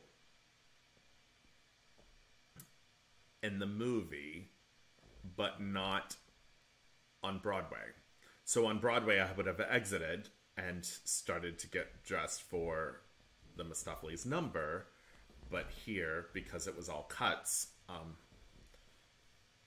I was able to be in it. And in London, he's in it too, so the, the break is shorter, which makes it harder.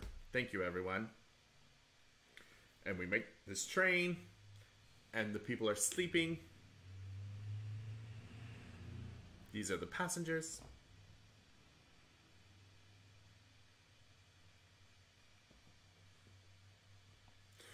So there's been a lot of um I'll finish this and I'll I will talk about the pirates, I promise everyone. There's a lot of chat about pirates. I prefer the pirates. Short answer, I prefer the pirates. It's very fun to do. Um Oh, it's a, it's a real gold piece. I'll keep that one. That's what he says.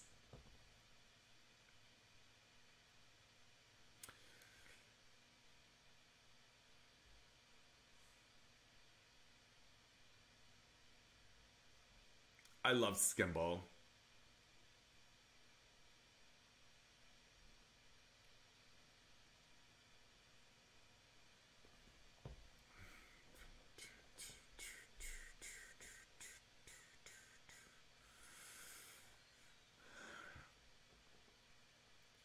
Been some great skimbles.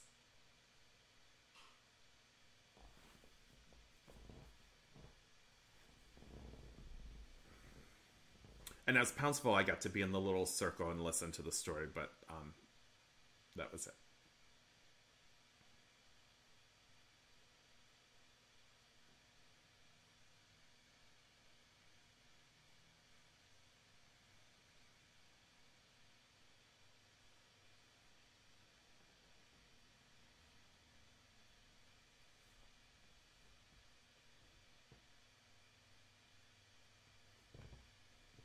Um, the girls always hated the step because it really, I think, hurt to rock on your um, on your pelvis bones like that.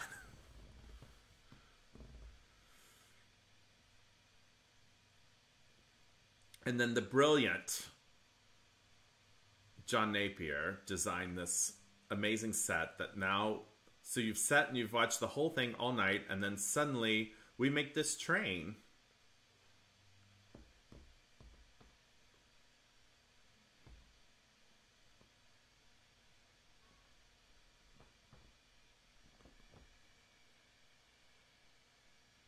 So yeah, the train is just all stuff that it's bicycle wheels. It's a um, big fabric. It's a it's a um, a big pipe that this becomes the smokestack. They're um, these piston things. Um, sometimes they're Q-tips, uh, and we just we um, make this train.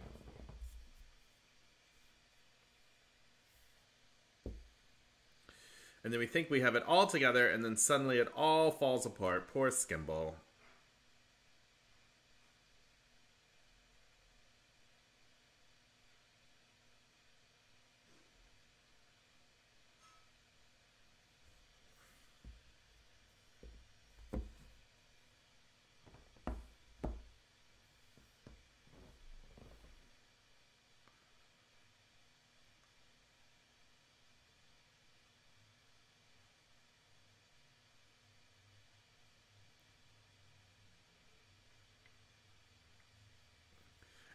You'll see different cuts here. So he walks up, and he's up, and he's up, and he's all the way up, and then on this cut, he's not. And then he is. So now we're back to Macavity, and this time Macavity really is here.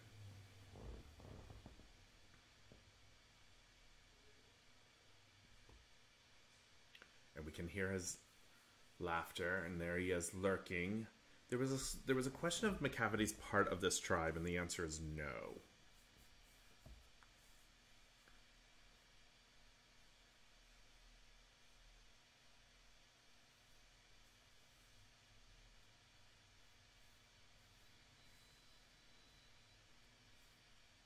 And I think this is one of the best costumes So when I was Pouncival, I had to be one of those henchmen. And one night my wig fell over my face and I couldn't see and I fell out and I ran right off the stage into the audience. That was a really um, one of my most embarrassing moments on stage. And then here we go with Macavity number, and these two women are just exquisite.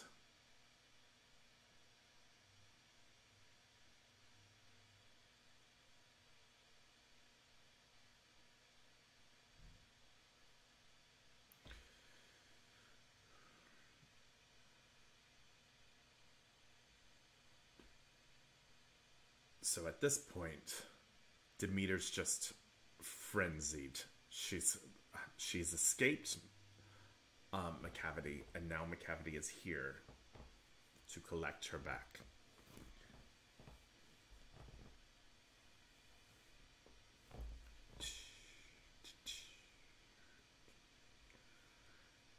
I love that they have these gloves, these girls. They get to wear the gloves and not the arm warmers. It's just those like those little details that just make a designer like that has so much storytelling in that glove.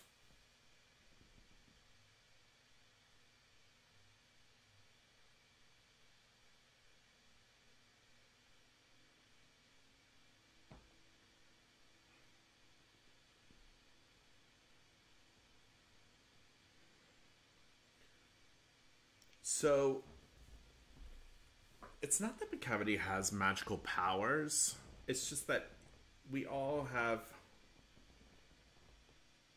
um once again, sorry. I get I like ADD back and forth. I'll tell you this about Macavity later. Here comes Rosemary. Come on. Just a star. Now, Rosemary was a host on believe it's called Come Dancing. So my English friends, you can help me. I believe that's right.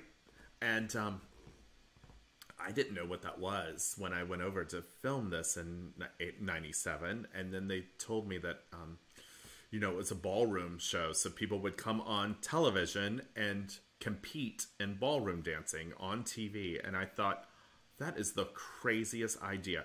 Who is going to watch a show where people are competing in ballroom dancing? And um, you know, cut to now Dancing with the Stars. So, um, what did I know? But yeah, she was the host of that.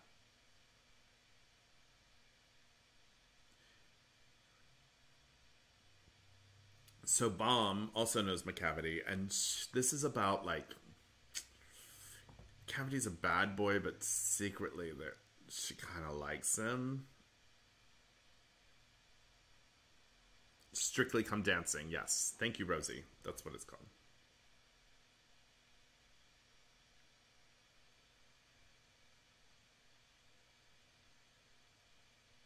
And Aeva used to dance on the Demeter. Aeva used to dance on a show called Hot Topic. No, Hot Gossip. Hot Gossip. Hot Topic is a 80s mall um, store in the mall. Hot Gossip. And that's where she met Gillian. And um, yes, I just love the connection with them there. Ugh. And then they come back together. It's just it's great. It's just a, this is a great duet for females and musical theater. They're not competing against each other. They're there. They're just they're living. They're owning this number. They're owning their sexuality. They're just um, I think it's just bravo. It's just one of the best numbers ever written for musical theater.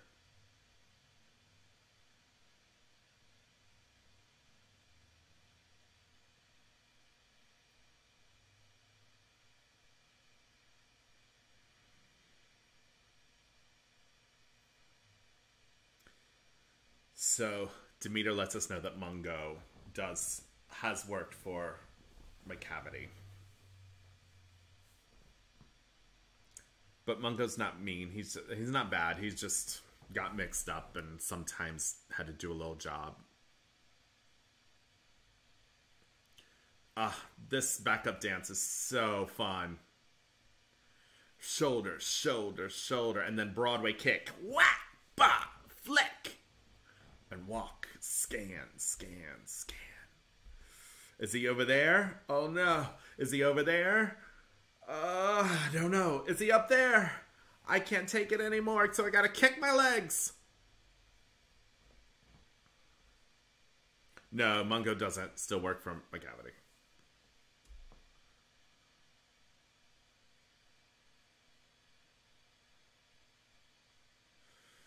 Yes. Come on, Gillian Lynne. Excellent.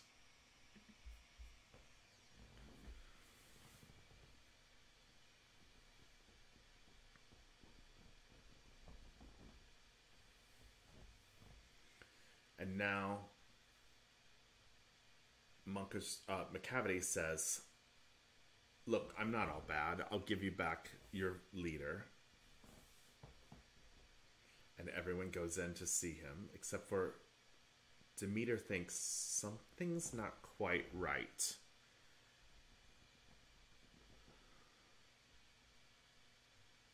And then she goes and she's like, get away, get away. And everyone doesn't understand this is Deuteronomy. And she goes to Munkustrap and she says, Something's not right. Something's afoot. She jumps on his back and we do a turn, and it really is Macavity.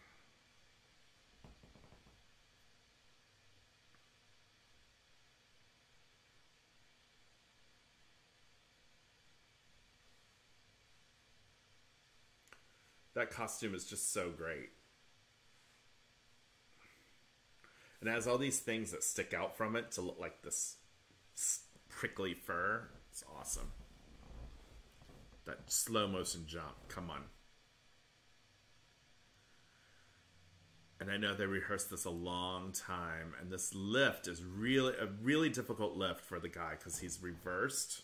Um, it's easier if he's flipped the other way, because uh, you're it won't. She she's more secure because she won't like fall. This way, she could have.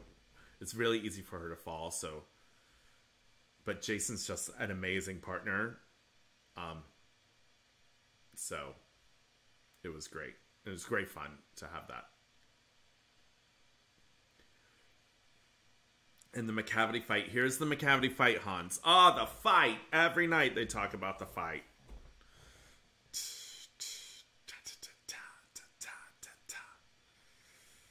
And, Maca- and is the are going after Macavity. Macavity puts him in a trance.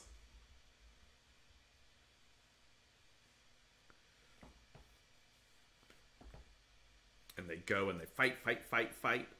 And he goes and he injures Munkustrap, so Alonzo jumps in. And he and he and Alonzo sort of at least injures Macavity and injures him and gets injured himself. So one of his arms is he's injured. So now he's getting cornered. So everyone and I, I love that Jellylorum is like, get out of here.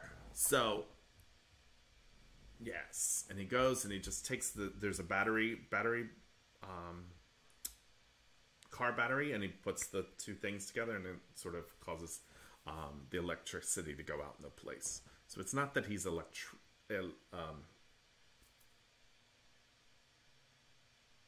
electrifying us. That's not the right word. Um, but uh, is that he turns off the power. And Demeter thanks Munkustrap for saving her life. Now, Macavity is not magical. Okay, he can't disappear and show up and and make people disappear and show up on a barge somewhere. That is not Macavity. McCavity is just that cat that causes havoc, and then you turn around and he's somewhere else sitting and like acting like nothing's has happened.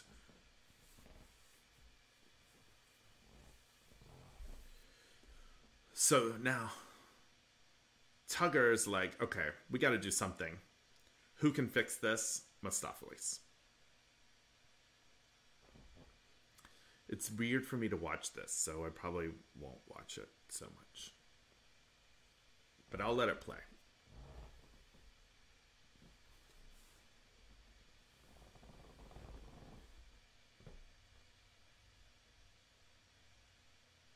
Yeah, they're real collars.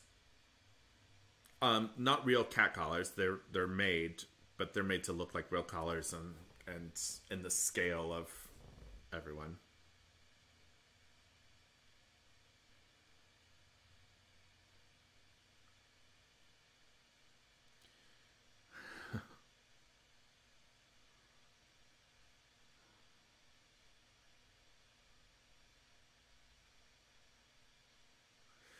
I love this in the show. Like it was just um, this one big flashlight that he's holding. That was the only light source. I just thought that was so amazing. We couldn't really do that in the film, but in theater, um, we could do that.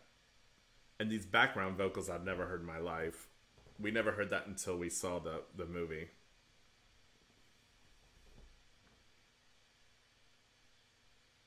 And here, Mistoffelees comes and I make the rope disappear, which doesn't really happen. Um,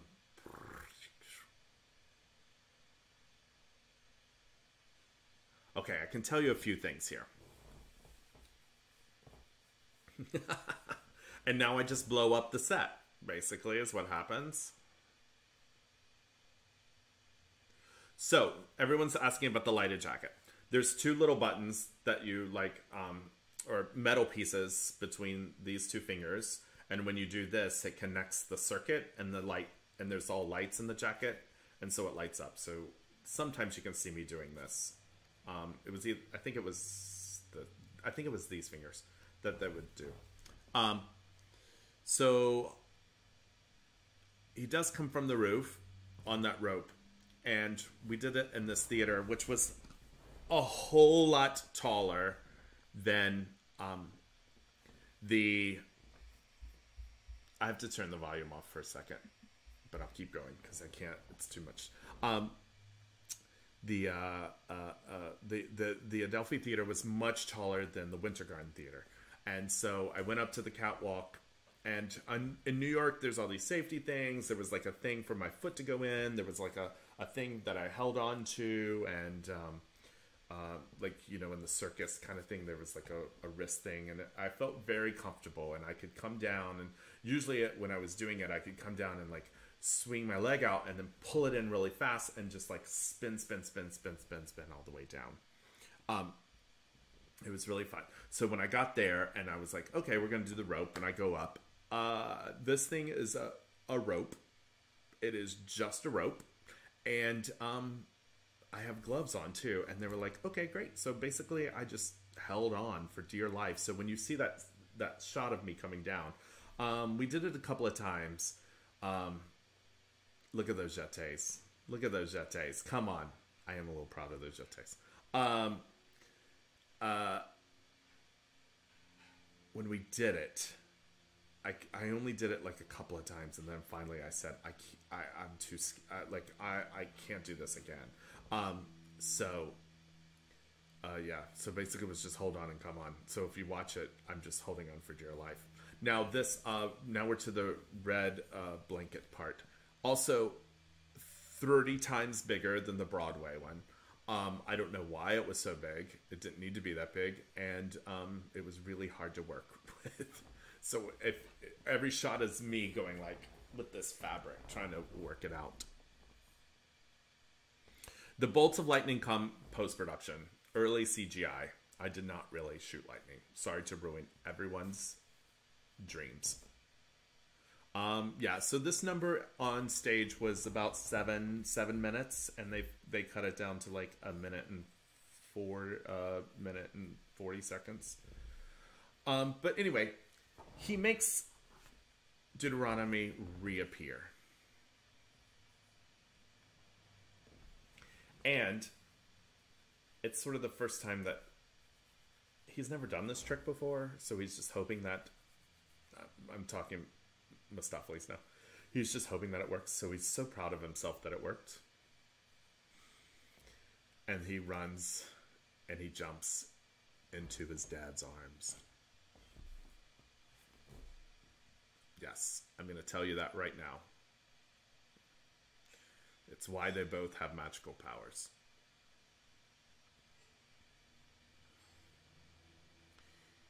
Although he doesn't know that.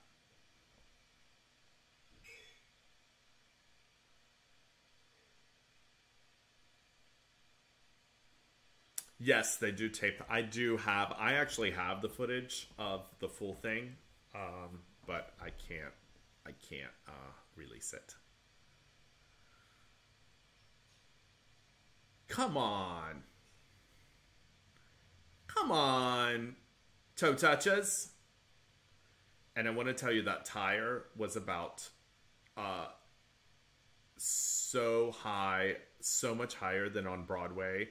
Um, and then when I leaped off of it, I was literally like, uh, I don't know how tall I was, but it was high, and I actually hurt hurt my foot. Um, and um, I like um, I didn't break it, but I bruised the bottom of the like where your pads of your foot are really badly, and ever since it's not been the same. But um, uh, yeah, so I jumped off that tire probably 30, 30 times, and um, I finally, you know, I, I, I didn't want to be, you know, uh, a diva about it, but that one it was the rope, the rope one, and the jump off the tire that I finally was like, I can't do it anymore. No, you've got it. Um. So, yeah. But we took a whole day to shoot the Mistoffelees number, and and the thing that was um. Uh. Kind of Gillian really wanted to keep the Mistoffelees number as one full shot. She wanted to do it in one shot. So we just kept filming it and filming it and filming it and filming it. And um, it was it was tough. And then they cut it down. So now, sorry, I could talk more about that. Maybe I will. But we got to get to Grizabella. So she comes in one last time.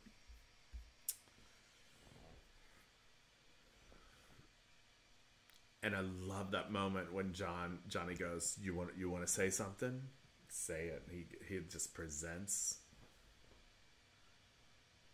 and they still won't let her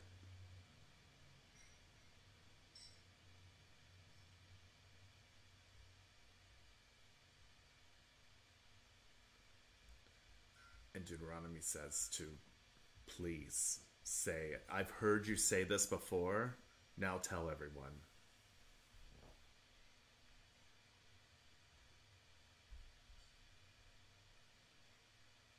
Uh, yeah, the tail in this number is shorter than the than the regular tail because of the weight and having to do all the tricks. It just was easier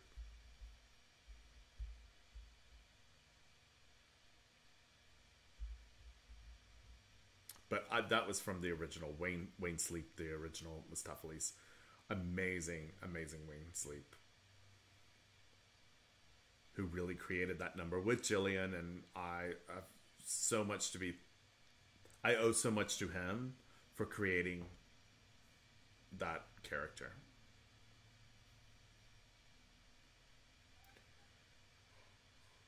Uh, I mean, when she says that, it's a smile the old days, and she just, you can see her seeing it.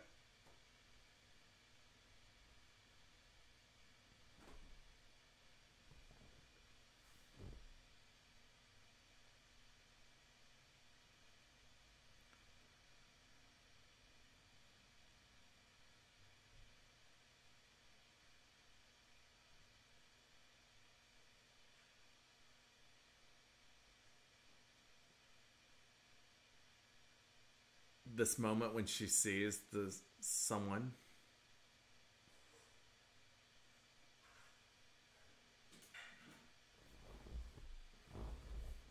Can you see my cat? What's happening back here?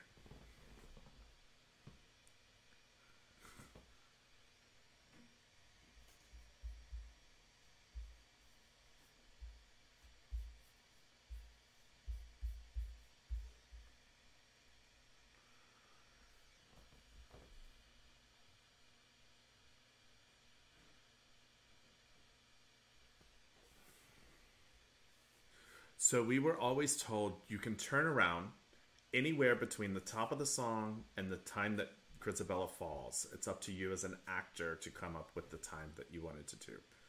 I always chose the violins because I just thought that was the most dramatic. So that's where I decided to turn around. But also the the thought of that of what she's going through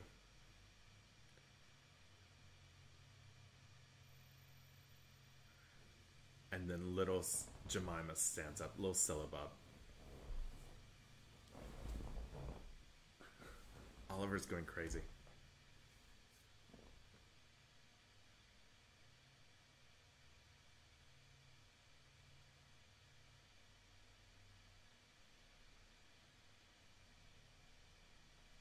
She stands up.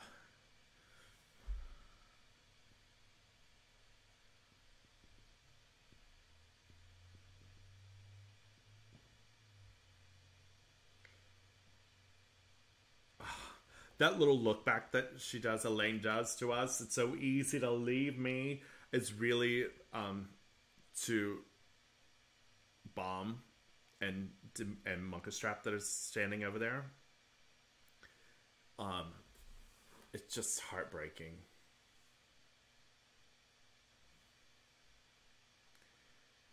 And it's amazing that this this like this she made this song iconic. I mean, this is just iconic Broadway memory.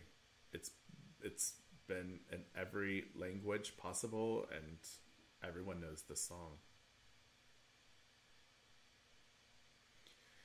And now, little Victoria just she looks back. Is it okay? Deuteronomy says, "Yes, it's okay." And she goes, and she touches her. And she touches her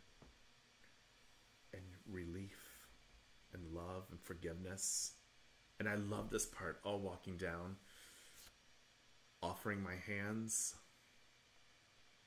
the reverence.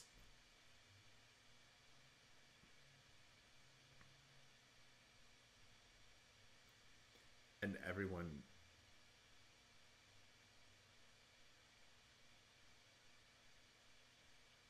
and we come together as a group and that this right here is what the show is about. It's about forgiveness. It's about community. It's about unity. It's about that we have to do this together. And she thinks that she doesn't quite understand that she is the one that's picked. She can't believe it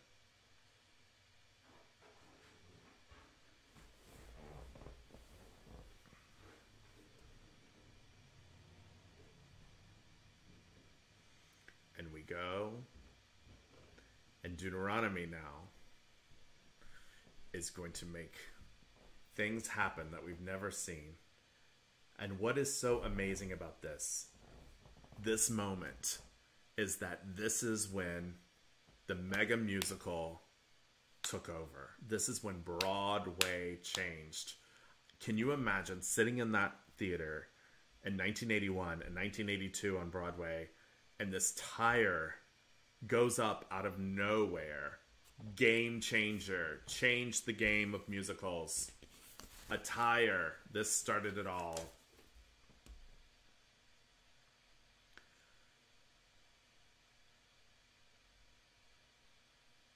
And we can't believe it. We can't believe this is happening. We've never seen anything like this. Now, this is the first, I can tell you, this is the first shot that they did of this because they used so much smoke and it was coming out and you can see us there's some shots where you can see us being like we're all just coughing. Everyone is hacking and coughing down there because there is so much smoke and um, then we shot it a lot of times again and again and again with not as much smoke but the but the one that they use is the first shot when they had all the smoke and then I love this this staircase that comes down and she walks up. There's others that this thing comes down, she gets in it, takes her off this like spaceship thing. I think the staircase is the most successful. And this this music and uh, it's just so beautiful and really so hard to sing. And you're bending over and you're singing these incredibly high notes.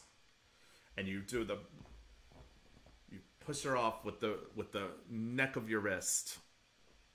Gillian used to say, use the neck of your wrist, darling, which I guess is this part. I don't know what the neck of your wrist is, but here it is.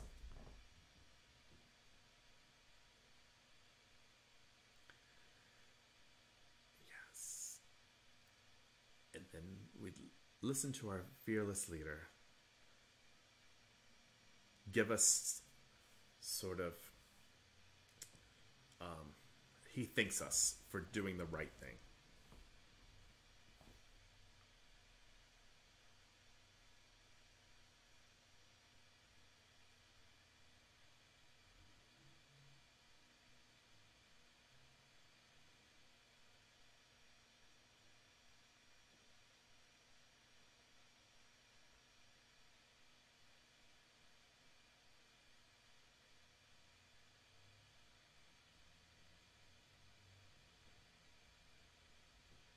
So we shot this with 12 cameras at the beginning. We did a couple of runs with just 12, I think it was 12 cameras everywhere. So usually on Broadway, when you're standing and listening to him or in the show, wherever you're at, your back is to the audience so you can like breathe, you know, because you're you're done for the night. But here we couldn't do any of that at any time. We had to be on all the time. So these close ups are fantastic.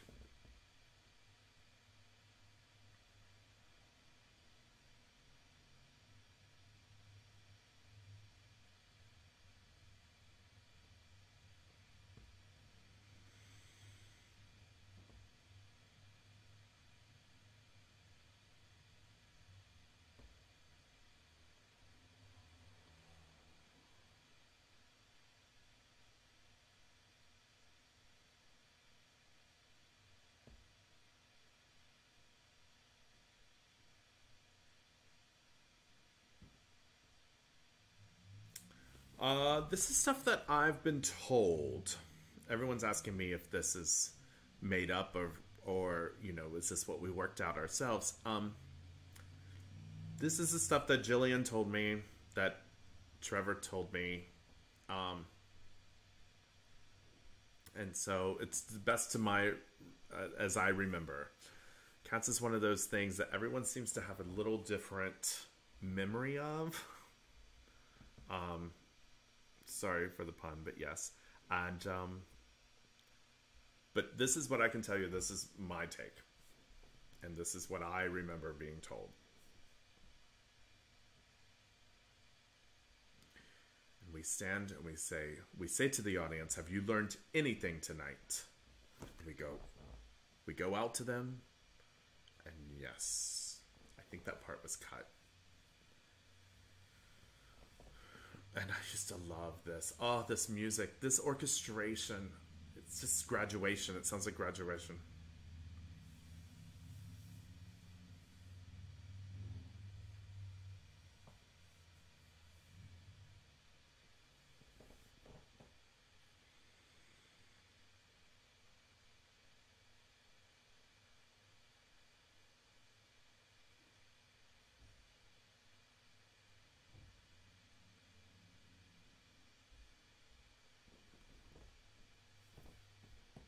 I love that moment Ken. I love that moment Ken licks and then does this personal taste. I mean, it's so genius.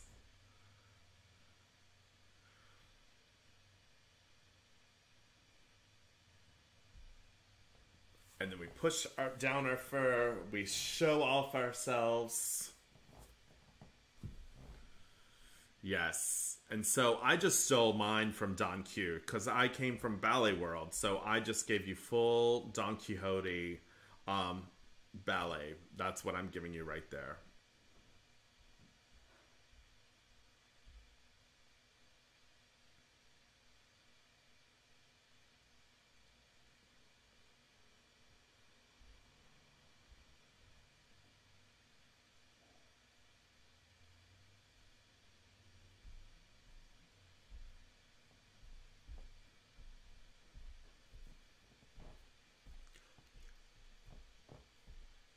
Here we go. And then Ken hits this B flat. Amazing. Holding it out. I remember the first time he did that, I was like, what the? Oh my God. Stunning. Victory. Ah. It's such a good show. I just love it so much. And I'm just I'm just so thankful for everything that it has given me in my life. I'm so thankful that I can, you know, all these years later at 10:30 on a Saturday morning, um, click in and do this commentary and have so many of you that are still here. Um, it's I'm really proud of it. Oh my god, I'm gonna start crying. um, I'm just really proud of it and proud of um, the work that everyone did and the friendships that, uh, formed out of this, and um, just so proud that uh, it has touched so many people in so many different ways, and that it's so important to people, and uh, they still love it. And um, I was just talking to somebody the other day who's been in the show a couple of times, and um, you know the fact that they said i grew up watching you and you made me want to dance and um, yeah and just you know and just to see a boy dancing and made it okay for boys to dance um, is something that i'm i'm just really proud of that and um, it is not lost on me. And that's what i want to say.